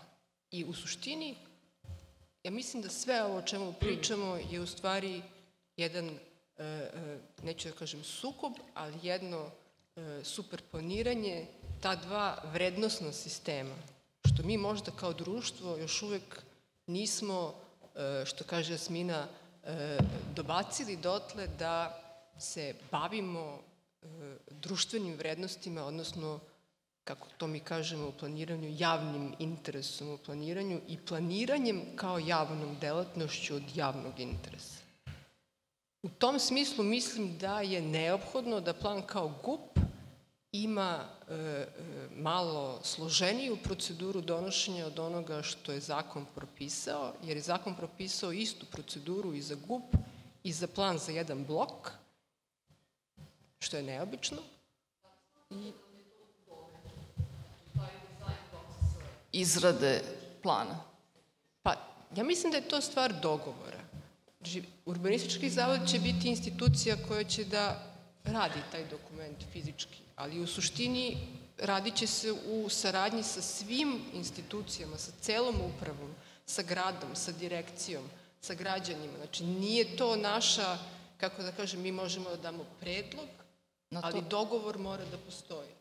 I po našem mišljenju taj dogovor mora da postoji u samom startu. Znači moramo u samom startu kao prvi korak izrade teg plana u stvari da napravimo, da osmislimo proces kako će se odlučivati u njemu od opštijih stvari do pojedinačnih, e, kako da usložnimo taj taj, kako da kažem, možda potpuno pojednostavljen proces kako je on u zakonu definisan, rani javni uvid, nacrt javni uvid, e, da se u stvari u toj početnoj fazi izrade plana e, više diskutuje, mnogo, mnogo više diskutuje i da se odluke donose postepeno i konsekventno. To je naš neki, naša neka ideja u samom startu.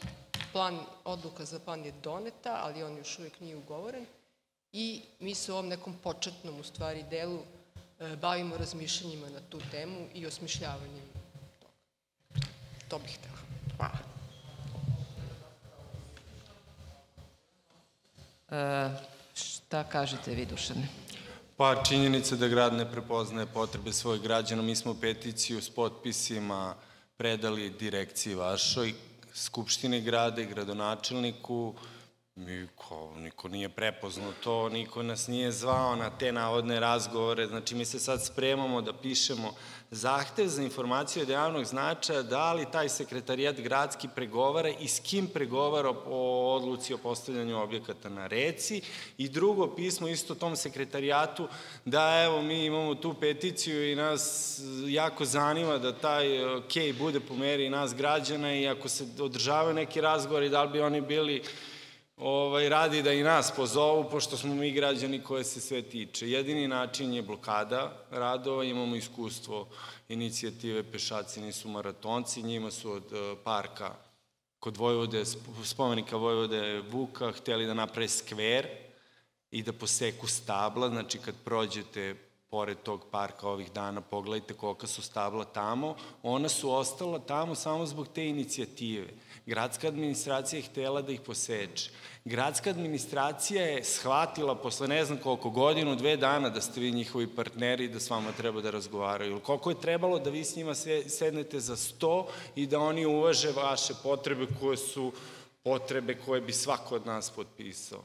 Tako da je ovaj, u ovoj zemlji treba da bude ubijen premijer da bi neka nelegalno, neko nelegalno zdanje bilo srušeno. Sve što se gradi ima po sprat više i ovaj, prosto nije, nije, nije ništa po našem interesu, tako da ono što mi radimo je da organizujemo, da se organizujemo, da sprečimo, da kad to počne da se dešava, da se dešava, a opet i administracija to prepoznaje ono što nije outsourcovano ostaci zelenila, odnosno onog njihovog sektora koji se bavi izgradnjom, trenutno radi u 45. bloku i administracija ili ljudi tamo koji to rade su jako svesni da treba da komuniciraju s građanima i to se radi vrlo solidno, tako da nije baš svuda rasulo i zato se i radi, zato što su objasnili građanima šta se radi, sve ispod žita i samo nemojte da se zna o tome, ali nema druge, ovaj, mora, mora ljuto.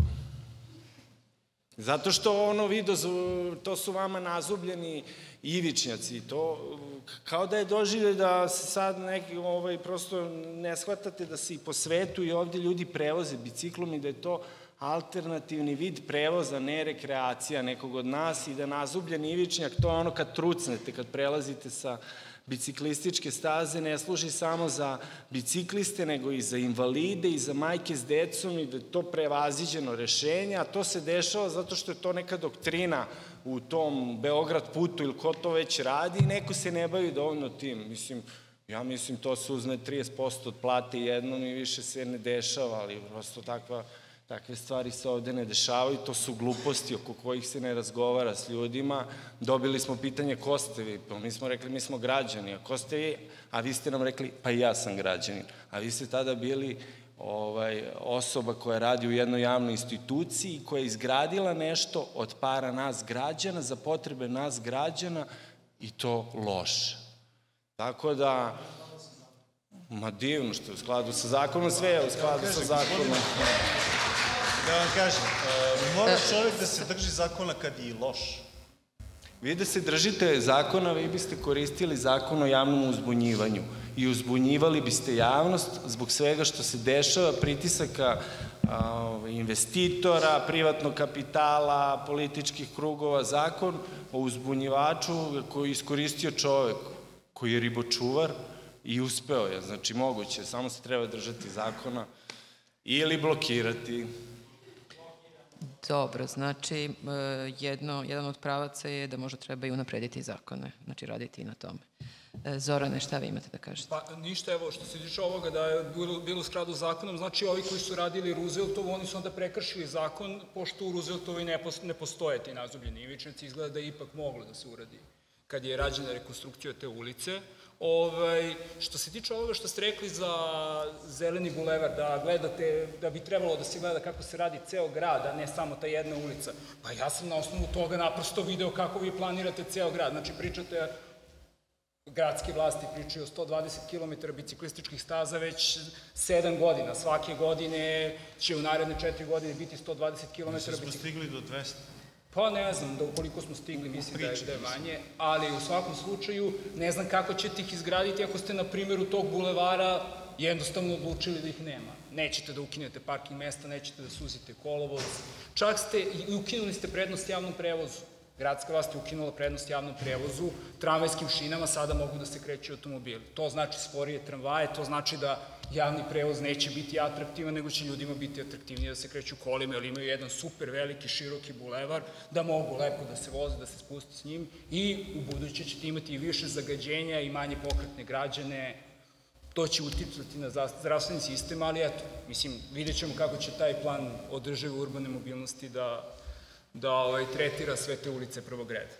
Ovaj, mada ja nisam optimista, iskreno. Što se tiče bespravne, što se tiče bespravne gradnje, pa ne znam, da li vi stvarno zaista mislite da mi verujemo da sve ovo što se dešava oko nas, sve te zgrade koje niču, pazite, znači to nije da je neko a, a, svoju kuću nadogradio jedan sprat. To su petospratnice na mestu vojvođanskih kuća koje su imale ono jedan sprat.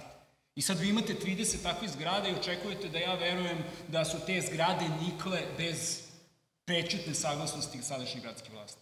Da li zaista to mislite? Pa to se dešava prethodne četiri... Znači, vi ste imali onaj zakon o zakonjenju koji je bio 2014. ili 2015. i posle toga, jeli, nijedna zgrada ne može da dobi, ne može da bude legalizovana. Pa onda imate ovo na Koponiku da se podnose ti antidatirani e, zahtevi za legalizaciju. Pa imate situaciju Savskog nasipa da sam ja pokušao zahtevom za informaciju javnog značaja da dobijem dokle se stiglo sa, sa, sa legalizacijom tih objekata na Savskom nasipu. Meni sekretarijet za poslove legalizacije nije hteo da odgovori. Poverenik je donio rešenje, ja dan danas nisam dobio taj odgovor. Šta je problem da se kaže bez podatka fizičkih lica, znači ne zanima me ko su ti ljudi, mene zanima dokle se stiglo sa tim procesom legalizacije. Da li, su, da li, da li je njima odbijen taj ovaj, zahtev za legalizaciju koju oni imaju? Znači oni su izgradili kuće na vodoizvorištu, pored Reni bunara, sa septičkim jamama. I vi sad očekujete da mi poverujemo da sve to što se dešava, ta naselja koja niču okolo, eto, to su došli građani pa sami izgradili, a gradska vlast, eto, nemoćna, ne može ništa da uradi. Kad ste čuli da je neko srušio neku zgradu ili u začetku srušio neku zgradu koja je počela da se gradi na bilo, u bilo kom pretkređu, bilo na Medaku, bilo u Borči, bilo u Rakovici, na Mirevu, kada ste to čuli? Da li ste videli taj primjer? Očigledno da nišću čitava naselja i naprosto dok se to ne bude rešilo, ovo što vi kažete znači da je to kao don, strateški dokumenti, planski dokumenti, vi ćete ih doneti, ali sve to što se dešava stihijski će naprosto uništiti smisao tog dokumenta. Kad ga vi budete doneli, kad on bude spreman za sprovođenje stanja na terenu će se toliko promeniti da taj dokument više neće imati smisla. I šta ćete onda? Onda opet ćemo da donesemo novi dokumenta, opet, će da, opet ćemo da pustimo da se izgradi neko ruglo i naprosto ćemo tako non stop biti u začaranom krugu. Mislim, dok neko ne bude presekao, naprosto ne znam. Ne, ne dok ne budu ljudi odgovarali zbog svega što su radili i što je protiv zakona. Što se tiče ove, o, što se tiče planskih dokumenta i javnih uvida, ja ne vidim da se uopšte vlast trudi da građanima objasni kontekst, da, neko, da se neko trudi.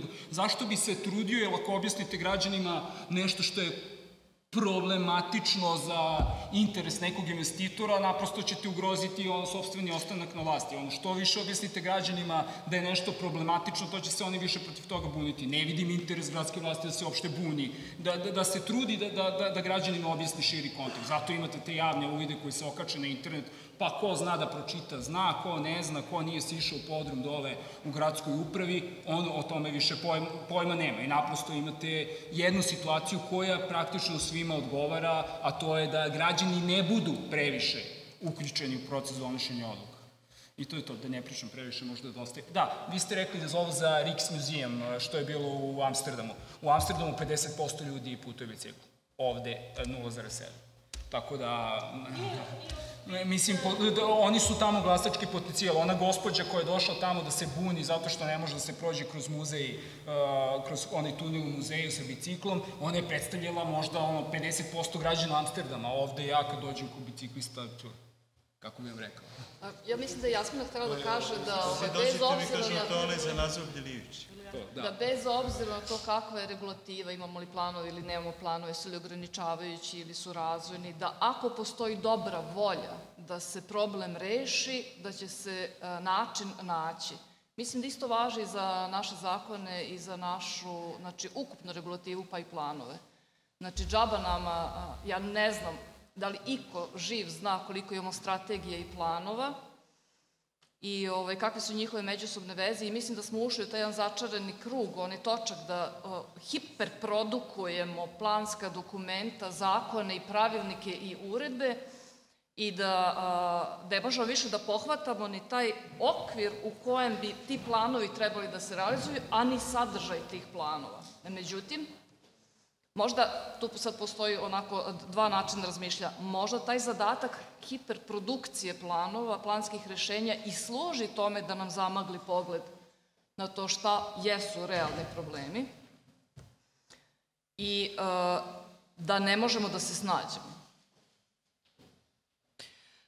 E, ja mislim da, obzirom da je ovo prva ovakva diskusija na ovu temu i ja se iskreno nadam da ćemo mi ovaj ciklus nastaviti dalje i da će ovo postati jedna praksa uh, koja će uh, zaživeti u, u našem društvu.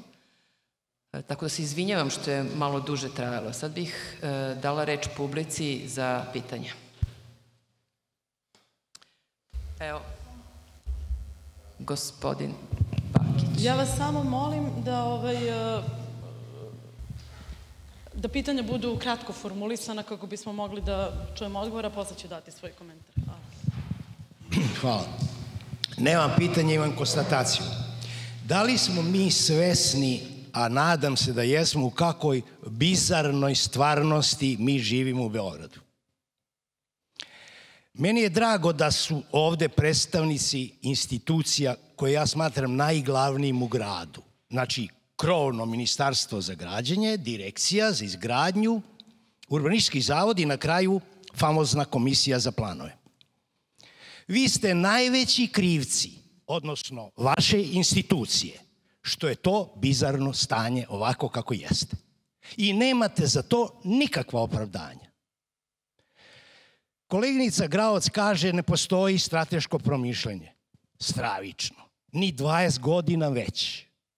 Pritom, koleginica Đokić kaže dobijamo preko 100 projektnih zadataka od grada.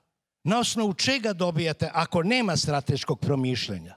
Znači, vi proizvodite planove, komisija usvaja, direkcija gradi, a onda građani svojim telima sprečavaju te radove. To se nama dešava.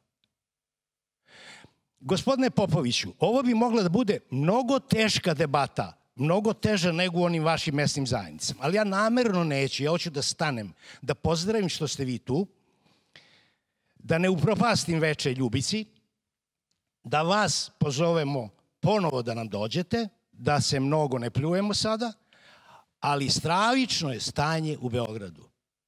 Ovo što piše suprostavljeni interesi, to najbolje govori. Može da postoji samo jedan interes, a to je interes građana. Javni interes. Ako nema javnog interesa, nema urbanizma.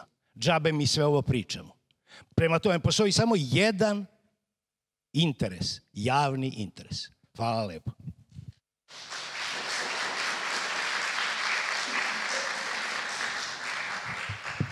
Da li neko želi da odgovori? Ana? Komentar. Institucije su nam onakve kakvo nam je društvo. Očekivanje da institucije treba da budu sjajne, a društvo je onako kako jeste, je nerealno. Slažem se. to sam da, htjela. Da li vi mislite kad ima dobrih doktora da neće biti bolesnika? E, još jedna samo stvar. Da li želite da kažete da urbanista nešto, neko nadbiće, neki nad čovek koji će da uredi sistem bolje nego država. još jedna stvar.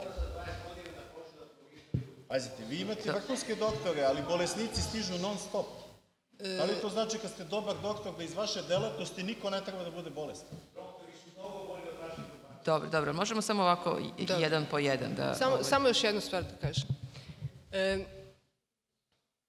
e, institucije su nam kao društvo, a e, da bi bile bolje, nisam sigurna da je napad na ljude koji rade u institucijama da on vodi osnaživanju tih institucija ili njihovom daljem slabljenju. To je moje pitanje za vas. Da. Vrlo kratko. Posle prostornog plana posebne namene za priobalje Savsko i za Savski amfiteatar, vama treba pouzimati licence. Generalni plan bi ja vama zabranio da radite.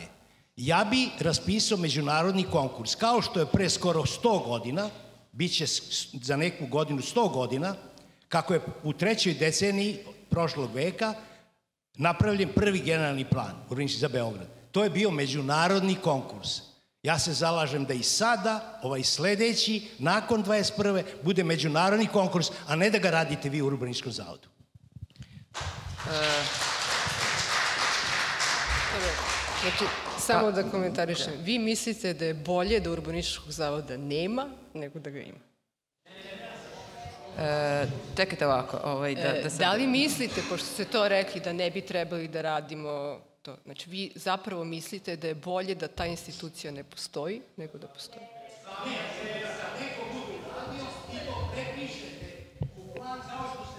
Dobro. Dobro. Ja samo kažem da, da bismo se popravili i da bi nam institucije bile bolje, pa i urbanistički zavod, nama treba podrška. E, ja mislim... A ne napad. Je tako? Dakle, znači, ja da mislim bismo da, pričali mogu... o društvenoj ulozi planiranja, mi moramo da se zajedno okupimo oko istih vrednosti i da zajedno radimo, jer i u urbanističkom zavodu i u svim drugim institucijama Postoje ljudi, profesionalci, ogromna većina, koja se zalaže za iste te stvari. I u tom smislu bih volela nekako da apelujem da je taj konflikt koji non stop postoji, da gledamo da ga malo smanjimo. Ako ćemo da radimo novi plan, ako hoćemo da nešto popravimo, onda moramo da sarađujemo i moramo u neku ruku međusobno da se poštujemo. Pozovite nas kada, ste, kada budete koncipirali proces planiranja, da ga prodiskutujemo, da ga iskorigujemo, da mislimo šta bi, sa, sam proces kako bi trebao da izgleda. I uključite nas jer uh, ne, ne postoji čovek koji može sve da zna, odnosno jedna institucija koja sve zna kao što vi i znate. Htela bih samo da pitam gospodina Popovića, uh, u stvari da, da, da se nadovežem, uh, nije uloga lekara samo da leči. On mora i da zna nešto i o prevenciji ako ćemo da pravimo samo te metafore o ulozi urbanista ili institucija. Znači, nije naše, nije rešenje samo imati institucije koje će da gase požare, nego da ih sprečavaju da se stvaraju. Ja mogu ja nešto samo da kažem, gospodin Bakić, nešto me zbunjalo malo kad ste rekli nema drugog interesa, sem javnog nema sukoba interesa, tako zamislit ću se i nemam, otvorili ste mi jednu, jedan kanal za razmišljanje onako. Priznaću vam nešto ovako kad smo radili strategiju urbanog razvoja. Nama je najslabije skoro da uopšte nismo imali učešće privatnog sektora. To je sektor koji sada je, to je neka realnost. I sada ja sebi postavljam pitanje da li je to učinilo našu strategiju manje realnom ako nismo imali učešće privatnog sektora. Jer kad sam rekao malo pre da mislim da treba da dosegnemo do politič, do nosioca odluka, do građana i tako dalje, mislim da treba da dosegnemo i do tih privatnika, jer oni jesu neka realnost, prosto ne možemo ih ignorisati. E sada, kako, kako na njih uticati na najbolji način? Kako njima ukazati na ono gde oni e, greše, gde narušavaju taj javni interes? E, to, je, to je ono pitanje, tako da mislim stvarno e, da moramo svi, meni nije lako da se prilagođavam ovaj, tim trendovima, ovom tržištu i svemu što nas nalazi u poslednjih 30 godina ili koje najmanje. Ovaj, tako da, čisto ako imate nešto još da dodate, da mi olakšate to razmišljanje kad kažete samo javni interes. Ima, u kom smislu? Dođi idući put pa ćeš da čuješ. E, ovaj, da, e, ovaj, pa ja mislim da, da bismo trebali da idemo u jednom drugom pravcu, a to je da ovo što smo se danas sakupili i što definitivno ipak postoji urbanisti, evo na kraju krajeva mi na našem fakultetu se trudimo i da školujemo nove, znači ja ne bih gasila institucije, ja bih voljela da osnažimo ove koje imamo. Na kraju krajeva ovde dobar deo ove publike ovde takođe se bavi e, poslovima planiranja i urbanizma i uopšte gradogradnje, gradnje u Beogradu, tako da e, čini mi se da smo neke signale ka uspostavljanju tog dijaloga ipak ovde započeli. Ja bih voljela ako bismo komunikaciju mogli da nastavimo u tom pravcu. Da li ima još neko neki komentar? Da, razumem. Dobro večer svima, moje ime je Đorđe Srbić Rakidić iz inicijative Pešaci nisu maratonci. Kratko ću, što kraće mogu da se osvrnem na neke od tema koje su večera spomenute, pa evo da počnemo od kraja. Što se tiče konstatacije da lekara može da ima dobrih dosta, da će pacijenata uvek biti, imao bih da kažem da ne postoji loš lekar, nego samo postoji amoralan lekar. Tako da nedostatak loših lekara ne može da se opravda time da oni nisu dovoljno e, naučeni ili tako nešto, nego jednostavno naginu na drugu stranu. Tu onda dolazimo do toga da nam je društvo tako, da su nam institucije takve kako su nam društvo, pa neko mora prvi da počne. A bojim se da Naravno, mi uvek ćemo da prihvatimo to neko breme, da ustanemo, stanemo u odbranu i ne damo nešto dalje da se desi i pokazuju su istorije da smo to radili, ali zaista je mnogo efikasnije i bolje da vi prvi počnete. Zato što ne treba bežati od toga da ne samo da ste profesionalni, ne samo da ste stručni, ne samo da ste izabrani, ne samo da ste realno možda i najpametniji, nego nemojte bežati od toga da ste vi elita. Vi to jeste. I u tom pravcu nekako zaista treba i da, i da delate. Što se tiče, e, i tu dolazimo do toga da, da vi prosto onda kreirate tu e, vrednost, moralnu vrednost koja se prosto požima pa na kraju i kroz planove koje donosite. Što se tiče kako dalje, ja imam jedno pitanje koje se tiče budućih planova, kako smo inicijativa iz, iz, iz centra grada, zanima nas kako planirate da zaštitite stanovanje u, u centru grada i E, naravno, sad kad sam već čuo kakve sve probleme ovaj, ovaj grad ima, gde se rasipaju fekalije po njivama, u rukavce, niču zgrade bez dozvola pet zgrada, reka se ne vidi iako stojiš pored nje. Možda, možda zvuči glupo ovo pitanje kako planirate da, da zaštitite život u centru grada, ali nas ipak tamo ima. Jeste da nas ima svake godine sve manje i manje, ali nas i dalje ima. Jedna smo od redkih opština gde se više e, radi nego što se živi i naravno taj trend postoji u drugim gradovima i nije se to juče desilo u Beogradu, ali od skora se to rapidno pogoršava u Beogradu i od, od, od skora u protekle dve, tri godine nas je zaista sve manje i manje tamo. I, I ja se samo nadam da, da, da mere za zaštitu stanovanja u centru grada e, neće biti nekakve biciklističke trake po centru grada, jer ne vidim zaista kako, kako one mogu bilo šta da doprinesu, pomognu, kako mogu nas na teo da ostanemo tu da jesmo, a ne da se selimo dalje. I da vidim kako planirate taj saobraćaj koji se ne generiše time što mi mnogo volimo da se vozimo ili mnogo očekujemo da možemo parkujemo se zgrade ili želimo da idemo na neku drugu gradsku opštinu blizu nas kafićem ili da parkujemo ispred zgrade. Ne želimo ništa od toga, ali vidimo da gro saobraćaja ovog grada se dešava u našoj neposrednoj blizini. I umesto da se smisli način kako da se to reši, grad e, ili država predstavlja da to rešava tako što će neke gradske ulice pretvoriti u pešačke zone i time rešiti problem u centru grada sa automobilima. Ne, neće. Automobili će i dalje ići gradskim ulicama kao što su Brankova, kao što su Kneza Miloša, kao što su Takovska, kao što su Despota Stefana, koje su pritom tačke sa najvišim nivom zagađenja u ovom gradu, i pretvaranje ulica u pešačke zone u centru grada, to neće, to neće pomoći. Hvala. E, dobro, ovo su znači mik mikroproblemi u razvoju grada, da, da, razumem vas. Da, da, da. Mislim da nisu baš ni samo mikro. Zaštititi stanovanje je, ja mislim, jedno od primarnih strateških pitanja, stanovanje u centru ste rekli. Ja mislim da ne samo da treba da se zaštiti stanovanje u centru, nego treba da se zaštiti stanovanje različitih klasnih, ne klasnih, i različitih obrazovnih, ekonomskih i ostalih struktura. Odnosno da se ne, doz, ne dozvoli ono što bojim se da nam preti, a to je sad nova klasna restratifikacija i nekakva segregacija stanovanja u centru.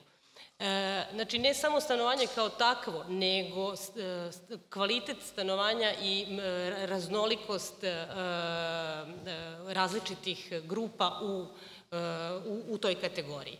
Kako ćemo to da uradimo, ne znam. Ali znam da moramo. Znate zašto? E, besomučno ovih nedelja Ana i ja iščitavamo e, dokumentaciju kako su pre, pripremani prethodni planovi. Pre svega plan o kome sad govorimo, GUP iz 2003. odnosno GUP 2021 koji je toliko, kako da kažem, konkretan i spušten na lokaciju, determinisan prostorno, tu se tačno zna gde je crveno, gde je žuto i tako dalje. I njegov prethodni plan, plan iz 72. godine, koji je plan jedne vizije e, razvoja. Imao je on i svojih e, velikih minusa, ali se oni u bazičnom pristupu jako e, razlikuju. Znači, u iščitavanju te dokumentacije najđemo na podatak da su pripremne radnje za plan iz 72. samo formulisanje projektnog zadatka, znači tih elementarnih ciljeva, ne ni metodologije još, trajali skoro tri godine i formiranje timova. A onda se ulazi u sledeću fazu u kojoj se, ono o čemu sam malo prepričala, ostale politike razvojne gradske prikupljaju preko institucije koja je umeđu vremenu ugašena, a koja se zvala Gradski zavod za, e, društveno, za planiranje, društveno planiranje za društveno planiranje. Znači, kroz tu instituciju onda ulazi, ulaze svi ti podaci, sve te vi, e, sektorske, da kažem, vizije razvoja i e, to traje opet narednih nekoliko godina, da bi se na kraju, a pritom to rade timovi od po 20 ili 30 ljudi. Onda u jednoj fazi se radi 15 15 e, mogućih projekcija razvoja grada pa se bira jedan uži krug najverovatnijih. E, znači taj ogroman posao je sada pred nama. Jer ja ne znam da vam kažem kako, kako ćemo da zaštitimo stanovanje i kako ćemo da rasteretimo saobraćaj. Ali mogu da vam kažem da imamo čvrstu nameru da to pokušamo da uradimo. To ćemo da uradimo onoliko koliko dobacuju naše profesionalne sposobnosti i koliko dobijemo podrške e, sa, sa strane. Ja sam, nisam, nisam bila u zavodu sedam godina. Sad se vraćam u nadi da ću moći da se prof, da profesionalno nekako doprinesem na nekoj temi za koju smatram da je apsolutno prioritetna. Nadam se da sam odgovorila. Evo samo da dodam, trenutno je u izradi strategija stanovanja grada Beograda, još nije završena, pa se nadamo da ćemo i u njoj naći neke elemente, smernice, ciljeve koje ćemo moći da ugradimo. Ko radi to? Ko radi tu strategiju? E, strategiju radi Đorđe Mojović, a finansira je sa svojim timom, a finansira je sekretarijat za investicije, mislim. Nisam 100% sigurna. E, dalje? Izvolite, ne, ne vidim kod koga je mikrofon. Mene. Radi. Ja sam Marija Stanković, bavim se isto urbanizmom, isto imam licencu, isto izrađujem planove. Htela bih da pozdravim kolege.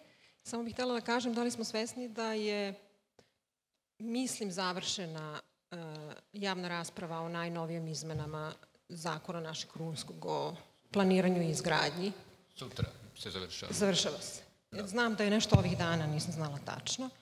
I htela bih još da napomenem da Svakako treba se osnažujemo i među sobom, ono što ste rekli, ja nikako ne mislim da Zavod za urbanizam treba da se ukine, nikako, nikako.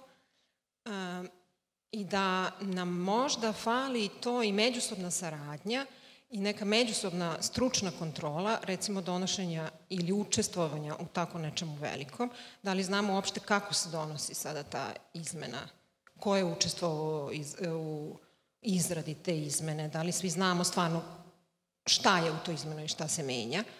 E, hoću da napomenem da ne postoji nikakva funkcionalna, profesionalna udruženja koje bi eventualno mogla da daju nekakvu kritiku, koja bi bila, mislim, mi imamo inženjersku komoru, koja realno ne funkcioniše. Imamo uh, uh, udruženje urbanista Beograda, koje je u ostavci, to jest ne postoji. Nemamo ni jednu takvu profesionalnu organizaciju koja realno funkcioniše i koja bi mogla profesionalce da osnaži. Sa tim u vezi još hoću da kažem da, kako se, stvarno ne mislim da bi e, Zavod za urbanizam trebao da se zatvori, ukinje ili kako god smo rekli. Ono malo pre što sam čula, to je prebacivanje, e, ja isto imam licencu 200, to prebacivanje da možda oni urbanisti koji rade u privatnim firmama su neka produžena ruka investitora, mislim da stvarno ne stoji i jeste odgovor ne mi prolazimo, osim što se držimo istih zakona, prolazimo iste procedure u kojima nismo ni, ništa pričali, iste komisije, znači prolazimo na isti način se raspravlja o tim planovima, na isti način se donosi kao i planovi koji radi urbanistički zavod. I te procedure isto mislim da bi trebale da budu malo rekapitulirane, da kažem, ili da bi i ta nekakva organizacija profesionalno mogla malo da porazmisli o tome. I takođe da napomenem da ako bi se, na primjer, gledalo ono što je taj konflikt ili kolaps između građana i planova, ne znam da li nekako se uh, obrati pažnje koji je to procenat planova koje su izgradile, na koje se građani najviše žale, da li ih je izradila neka privatna firma ili, ra, izra, ili ih je izradio urbanistički zavod. Hm. Nisam sigurna da su ih većinom radile privatne firme. I eto, recimo to. Meni se dopada ova ideja o možda rehabilitaciji nekakvih strukovnih udruženja u Beogradu. Možda o tome treba ozbiljno razmisliti. Je li ima neko nešto da odgovori na ovo? Dalje pitanje, izvolite. Ja sam, ja sam Milan Borić iz eh, Jugocikling kampanje, znači iz nevladinog sektora. A, moje pitanje bi bilo prvo, a, Možda je tačno, možda nije, mislim, uzimam to kao opravdanje koje ste vi naveli da nisu bili ovde mogli da ostanu ili da dođu predstavnici ovih e, investitora, privatnih ili već firmi koje e, se zalažu za izgradnju Beograda vodi ili tako nekih e, oblasti u Beogradu i konstatuo bi da, evo, ostali ste vi iz institucija, ali ste opet prekobrojni u odnosu na nas iz nevladinog sektora, i uopšte predstavnike grada i kada se, samo moment, i kada se organizuje bilo kakva javna debata, javna debata se organizuje obično pre podne, kada građani možda ne mogu da prisustuju, tako da mislim da je to malo neravno, neravnopravna borba, mora bi da kažem. A drugo, ako gospodin Popović kaže da se zalaže za decentralizaciju ili kako mislite da mogu da se odvoje te opštine ako grad donosi odluke i grad donosi Eh, iz budžeta odvaja sredstva za određene opštine. Kako mislite da oni mogu da se odvoje ako grad opet vodi glavnu reč ili gradska uprava? Samo toliko. Eto, hvala. Ja srećem nisam političar, volim da dosolim, ali nisam političar. Ali ovako, e, vaš problem, primjer, ako želite da rešite pitanje mobilnosti u centralnim gradskim opštinama, ja stvarno mislim da njih uopšte ne interesuje. Kao što i vi nemate pojma, na primjer, da u Barajevu pucaju vodovodne cevi ili da imaju se fekalne... Veze nemate vi jedni s drugima. Možda bi ovo, ovo moglo da funkcioniše kao jedan idealni grad kad bi nivo informisanosti bio toliki da vas stvarno zanima to što možete da uzmete kao informaciju, da je preradite i kažete i ja imam empatiju za njegov problem. Da vam kažem, šta?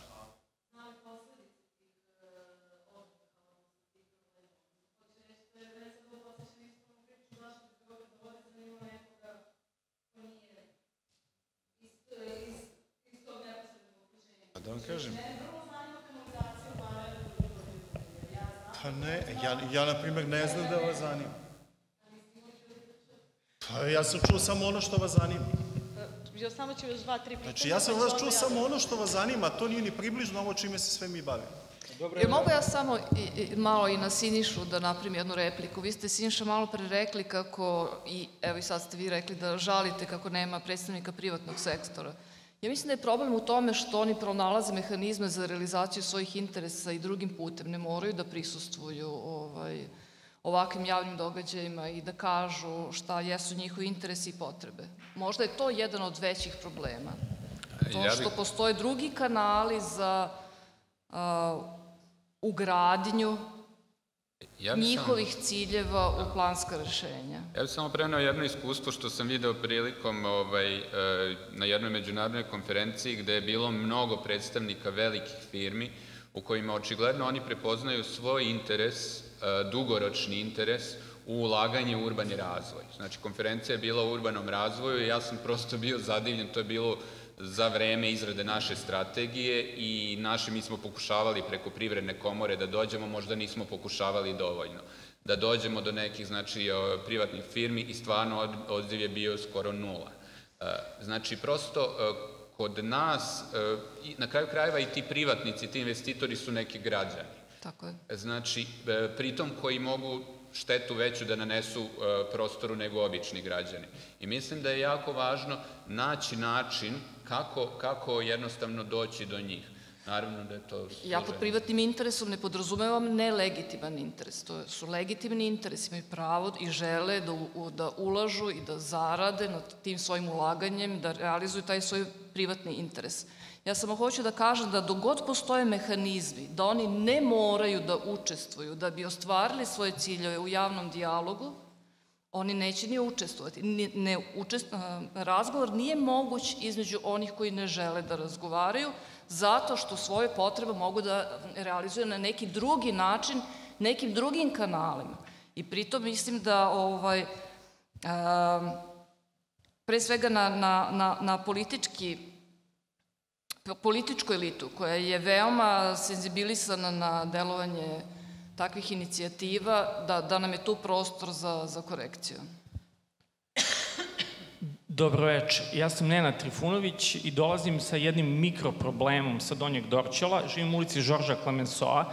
Imamo jedan događaj u poslednjih par nedelja. E, jedno jutro smo se probudili i videli da e, se kroz naše ulice, e, da se u našim ulicama kopaju i postavljaju ovaj, stubovi za e, trolebuski saobraćaj. Shvatili smo, shvatili smo da se saobraćaj sa trga pomera u Ve- Venizelisovu ulicu i, i u ovaj, ulicu e, Žorža Klemensoa i Gunduliće venac. Građani su se organizovali, skupili smo peticije, sutradan je na našim zgradama zalepljeno obaveštenje ovaj, od, od grada da se planira izmeštanje tehničke trase prevoza e, sa malim crte, malom skicom, e, ovaj, malom skicom kuda će ta trasa, kuda će ta trasa ići. Komšije su se organizovale, posetili su, posetili su ovaj, e, možda ste vi bili na sastanku u, u, u Skupštini grada, ovaj, posetili su i ovaj, oni su nam rekli kao, ajde sastavite vi neka pitanja, dajte vi predloge građani da daju predloge e, trasa kuda bi prevoz trebao da ide. Znate, e, da li je moguće da li je moguće da se e, e, postavlja pitanje građanima da daju ovaj predloge stručnjacima Zar vi niste stručnjaci? Zar vi ne primate platu? Zar, zar to nije vaš posao? Zašto se uh, javni prevoz uh, izmešta sa studentskog trga? Zašto se prave privremene trase? Zar na studentskom trgu od 2003. do danas nije privremena trasa okretnice? Uh, mi smo pitali grad koji, koji su to prevozi, koji će prevozi ići našim ulicama? O čemu se radi? Na konto kog plana se ovo sprovodi? Niko ne zna. Mi dan danas ne znamo uh, šta će ići Venizelisovom, Gundulićem vencom i Žorža Klemensoa, gde će biti okretnica, a, mašine, bageri i stubovi se postavljaju. Da li je moguće da takve infrastrukturne a, ovaj, stvari se dešavaju bez javnih rasprava, bez dostupnih planova? A, molim a, ovaj, Branislava i ovaj, gospodina Pored da mi odgovara na pitanje. E, hoću, ja ću vam odgovoriti onoliko koliko znam. Nisam bio na tom sastanku, ali nevažno je ovaj, za vas da sam ja bio na sastanku. Neko je bio koji je, da kažem, izabran kao merodavan i autoritet za ta pitanja. E, ono što ja pratim i što gledam u vezi tog slučaja, e, studentski trg treba da doživi neku transformaciju, to je planirana kao izgradnja podzemne garaže. Da bi izgradili podzemnu garažu treba da urade neka arheološka istraživanja, da bi sve to uradili i kad budu pravili garažu negde moraju da pomere trolejbuski saobraćaj. Sekretarijat za saobraćaj je odredio gde će da pomeri saobraćaj i kojom trasom će to ići. I... Da vam kažem, uh, u vezi... Na, na, ne, ne, ne, gledajte ovako, uh, kao kaže koleginica, sad je u toku javna rasprava o zakonu. Ni u ovom zakonu ne postoji javna rasprava na nivou tehničke dokumentacije. Postoji samo javna rasprava na nivou planske dokumentacije. Na nivou planske dokumentacije, kad, kad možete da pročitate takvu neku informaciju, vrlo mali broj ljudi može da sagleda šta će u budućnosti realizacija takve neke informacije doneti i da će vam se stvarno pojaviti u ulici to. Znači, nije to ništa sakriveno vama iza leđa, to je u planskom dokumentu. Nedostatak u zakonu je što za strateške važne projekte imate samo stratešku analizu uticaja na životnu sredinu, gde u suštini opet neki ekspert bi morao da pročita i razume da li će to uticati na životnu sredinu, ali u vizualnom obliku, da li će vama pojaviti se trole pred kućom, bi vam mnogo pomoglo kad bi u fazi izrade tehničke dokumentacije postoji javni uvid. Znači, ovo je, e, ja ću opet reći, urađeno u skladu sa zakonom. Zakon a, nije imao nameru da nekog prevari, jednostavno nije shvatio da to što se radi po zakonu vama može da smeta ne rad po zakonu, nego promenu u prostoru koje će nastati na osnovu primene tog zakona. Tako da jedan od nedostataka zakona je što nema javni uvid u fazi izrade tehničke dokumentacije. To je isto kao i ovo što vi pričate za KEJ, da postoji javni uvid u fazi izrade tehničke dokumentacije, vi bi mogli da znate da neko radi dokumentaciju i kad će biti. Ja koliko pratim, vi pitate pa vas pošalju ovaj ili onaj sekretarijat. Ali niko nije rekao ko u stvari je nosioc te dokumentacije. Da li iko nosioc projekta uh, uređenja Savskog keja trenutno? Samo znamo da on nije posebno planska celina i tražili smo pa. da postane, nego pripada blokovima. Jel, ako nije, koliko je lajčki, jel sve sam to morao da ovladam ovim znanjima, pošto sam yes. građan koga interesuje, možete da radite po rešenjima šta hoćete. Tako, to je ono, idemo. Ako sam ja iole vama odgovorio, ja bih pokušao samo da dam komentar za ovaj savski kej. Pa ja ne, a šta treba? Aj ponovite mi pitanje ponovo.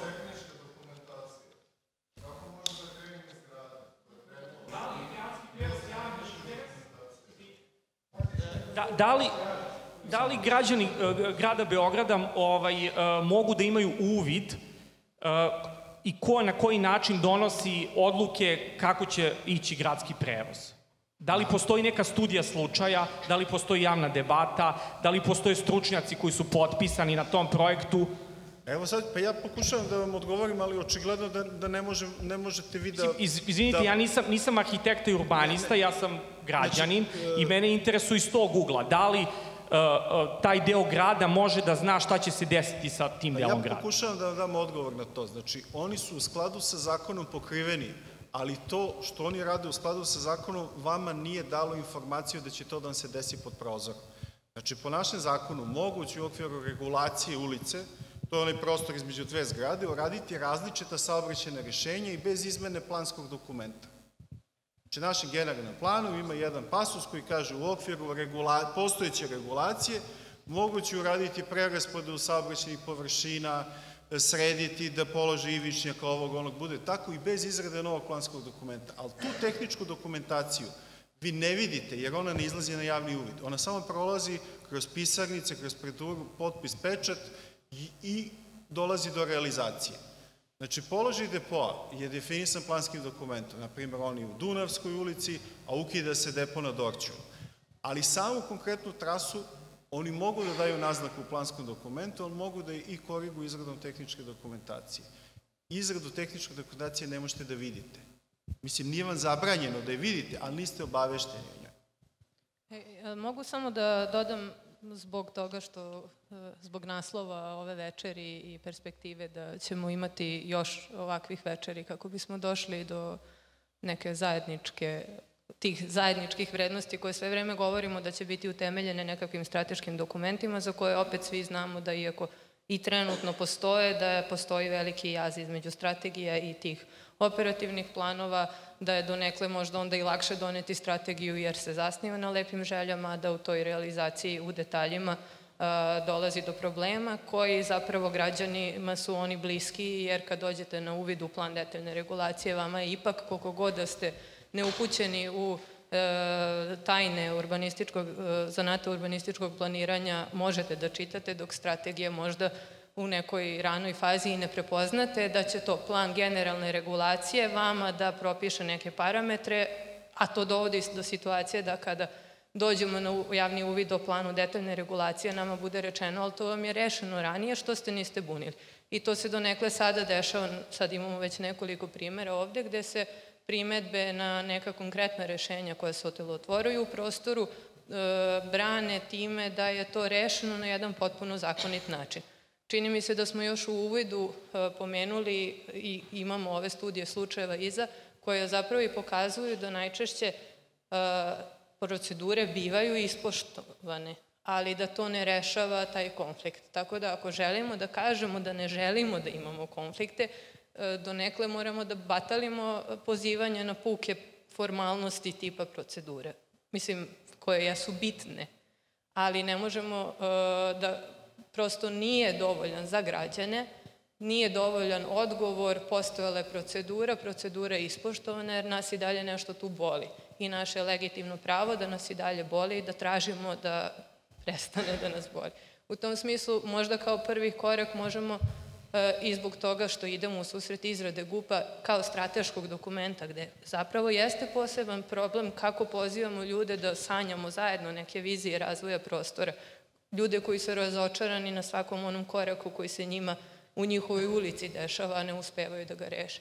Pa da u tom kontekstu možda možemo, zarad nastavka ove, ovih tribina, da možda taj prvi korak bude uspostavljanje, prepoznavanje činjenice da zakon takav kakav je sada, a teže nam je da menjamo te zakone, pogotovo ovim delovima koji se odnose na participaciju nego nekim drugim, da taj zakon zapravo ne zabranjuje proširivanje tih elemenata. On propisuje minimum participacije koji se za nas dešava prilikom izrade planova u tokom ranog javnog uvida i javnog uvida za neke manje izmene što je e, novitet da se zapravo i ukida instrument ravnog javnog uvida i tako dalje, ali taj zakon znači propisuje minimum, ali ne zabranjuje da se izađe u susret građanima oko stvari koje su nam bitne. I to se odnosi na proceduru izrade generalnog urbanističkog plana gde bi mi svi ovde bili presrećni ukoliko bi moglo to da se nevezano, znači ispoštuje zakonski minimum, ali da se ode korak unapred i da se pozovu svi mladi stručnjaci i građani da učestvuju u tom procesu mnogo ranije nego u onoj fazi kada dobijemo već gotov nacrt dokumenta da o njemu pričamo, ali može da se iskoristi i za realizaciju ovih tehničkih dokumenta koje, o kojima vi govorite, da se ljudi pozovu na sastanak i da se ljudima objasni šta je tačno ideja i zbog čega je ona možda neophodna bez nekog predumišljaja da će svaki korak u realizaciji nekog pro, e, projekta dovesti do e, problema.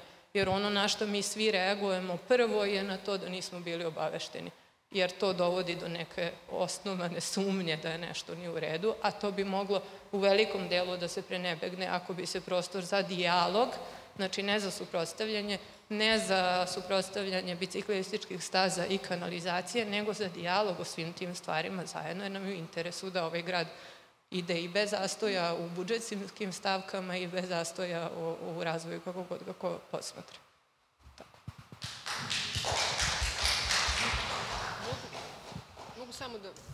Pa, dva pitanja. Upravo, ovaj, e, mislim da je to Da je to suština. još jedno pitanje za Mislim da je to suština. I da, da zakon propisuje minimum, ali da nam ne vezuje ruke da to širimo. To jeste naša namera, kao što smo i rekli sad u GUP-u, upravo to, da u nekoj početnoj fazi već krenemo da pričamo o nekim stvarima. I u tom smislu to će verovatno da bude i jedan pilot projekat čak možda da nam bude za cilj najvažniji da uspostavimo taj dijalog pa je mislim dovoljno tokom cele izrade plana i da se ti konflikti malo, malo, malo, malo spuste. I isto ovo što ste rekli vezano za, za plan generalne regulacije koji je donet pre tri godine. E, on je tako prošao u javnosti bez, e, bez, kako da kažem, bez da se išta pričalo o tome. Znači, postoje ono što se po zakonu kaže cela procedura javnog uvida svega. Neke stvari su tu bitne, odlučene, ali jednostavno mislim da u toj, toj našoj međusobnoj informisanosti zašto i do koje mere to bio važan plan za grad, da smo tu nekako, da se to jednostavno nije možda ni shvatilo. I mi onda sad pričamo o lokacijama. Jer sve su ovo zapravo pojedinačne lokacije, a ne deo jednog, e, jedne slike, jednog sistema koji to, koji, o kome smo mogli da, i koji, koji bismo mogli da diskutujemo. Ja bih samo htela da dodam ovo, ako smo sada zaključili da je ono što je obavezno definisano zakonom nije nam dovoljno, to nam je minimalno, Mislim da je jako važno da nije ni dovoljno samo pozvati javnost, ta javnost da bi mogla kompetentno i konstruktivno, da biste, da biste mogli da iskoristite sva naša znanja ili ideje, mi moramo da budemo informisani. Znači, javnost mora da bude na vreme i adekvatno informisana o svim elementima od značaja za mišljenje o tom problemu, odnosno o toj temi.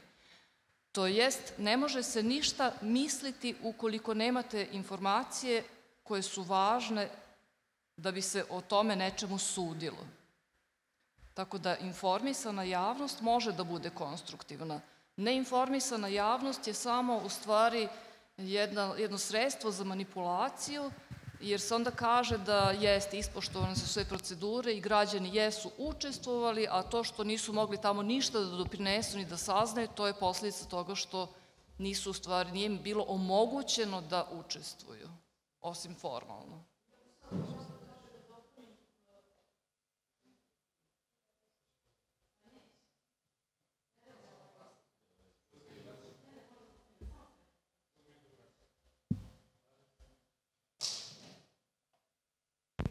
Na tragu toga samo da dopunim moj prethodni komentar kada ste rekli za Borču da nas ne zanima ili šta već. Uh, moja poenta, odnosno moj komentar je upravo bio i tome da uh, ono što mi ovde vidimo jesu neke studije slučaja, pojedinačnih studija slučajeva, ali gde smo mi izdvojili probleme koji su svima nama važni i um, ne mislim, malo sam optimistična po tom pitanju da mislim da bi mnogo veliki broj nas građana zanimalo i, šta, i, i problemi i drugih građana i ne samo problemi i ne samo građana, kada bismo bili više informisani o tome koje su e, posledice takvih odluka i tako dalje i tako dalje. Mi smo ovde pokušali da otvorimo pre svega procedure za sve, da svi razumeju te procedure i da stvar e, dignemo sa tog nekog konkretnog nivoa prvo na opšti, jer upravo Zbog količine problema i konflikata koje nam se dešavaju, vidimo da je stvar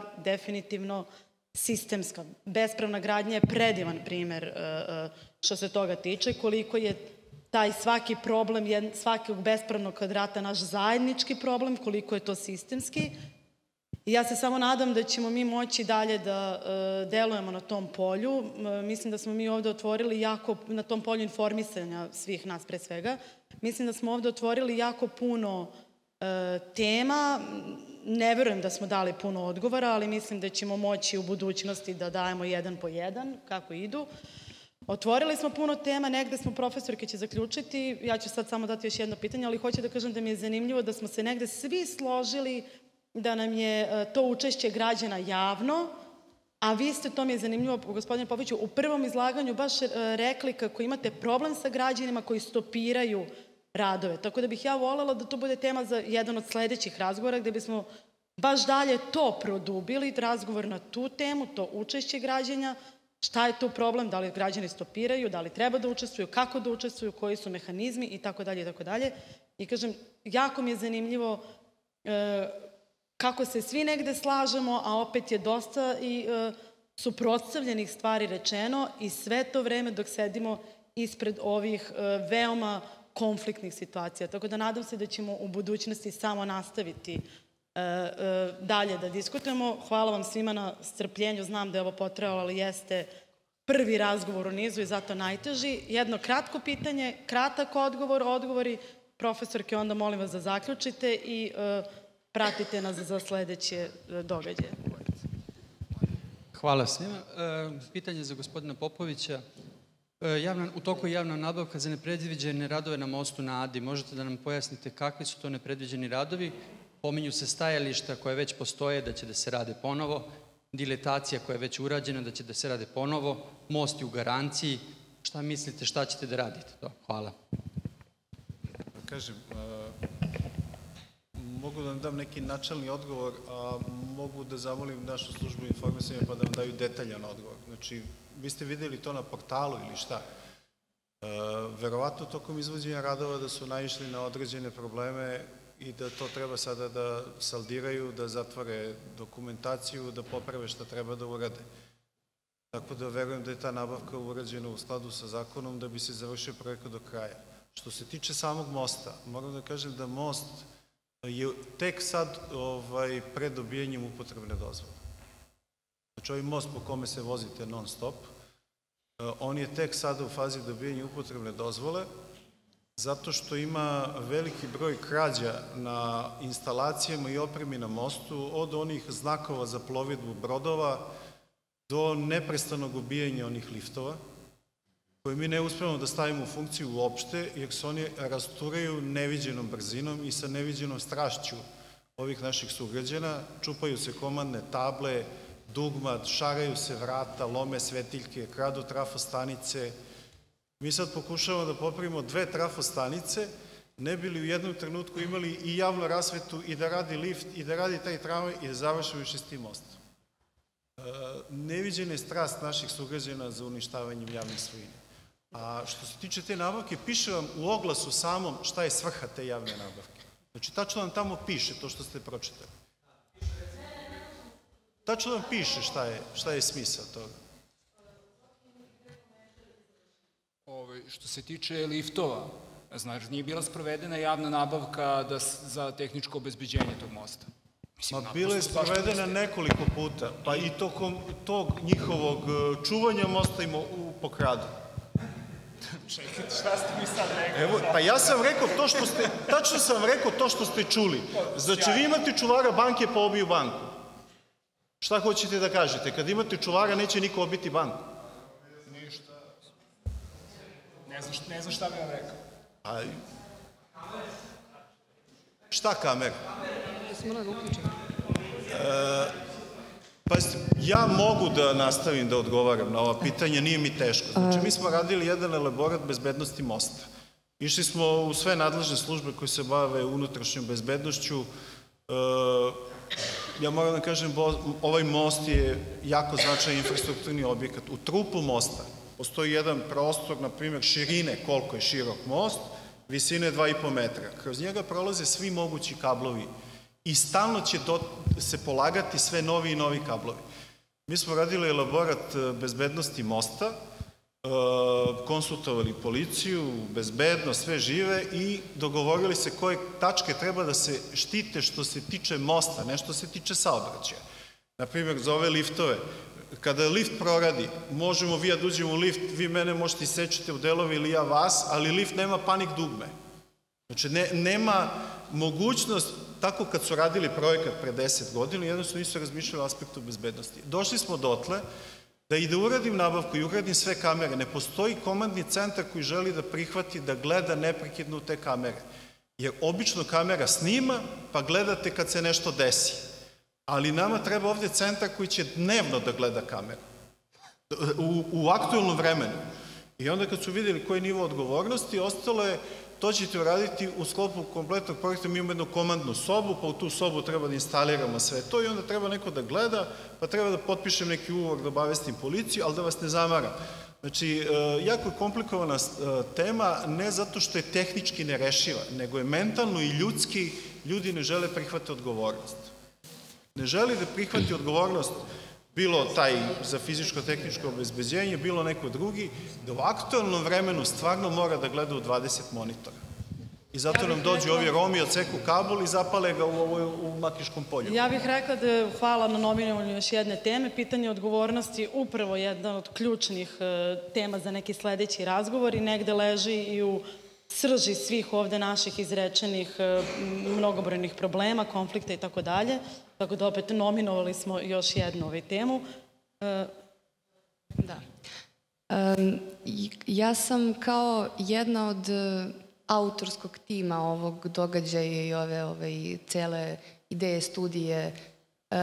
Jako mi je drago što se tako mnogo tema večeras otvorilo, jer to tačno potvrđuje ono što smo rekli na početku, gde je naš dijaloški prostor, gde je naša arena, gde ćemo svi moći da, i sad je ovo malo um, od mikroproblema trolejbusa do velikih problema, a i ti mikroproblemi su samo deo jednog, jednog haosa sa kojim se susrećemo i mislim da taj haos neće biti lako rasplesti, ali mislim, jako mi je drago što se ovaj prvi korak e, dogodio. E, jako vam hvala što ste ovako dugo ostali i želim da vas pozovem da bez oklevanja sledeći put kada e, vam uputimo poziv da nekako sa, sa više optimizmom, a ne sa zebnjom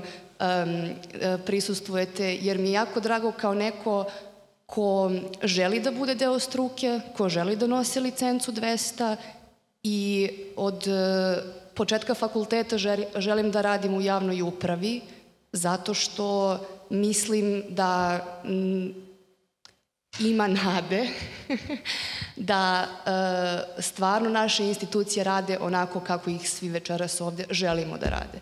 Znači, e, prosto e, ovo, je jedan od, ovo je taj prvi korak, zagrebali smo ovaj, teme i mislim da, ne, da zamolila bih vas da nastavimo u ovom, u ovom tempu i u ovom, u ovoj, da, u ovom maniru. Zato što mislim da promene mogu da se dese ali da moramo da istrajemo svi u to. Mislim i mi ovde u ovoj prostoriji i nadam se da ćemo da dobacimo mnogo, mnogo šire. Hvala svima.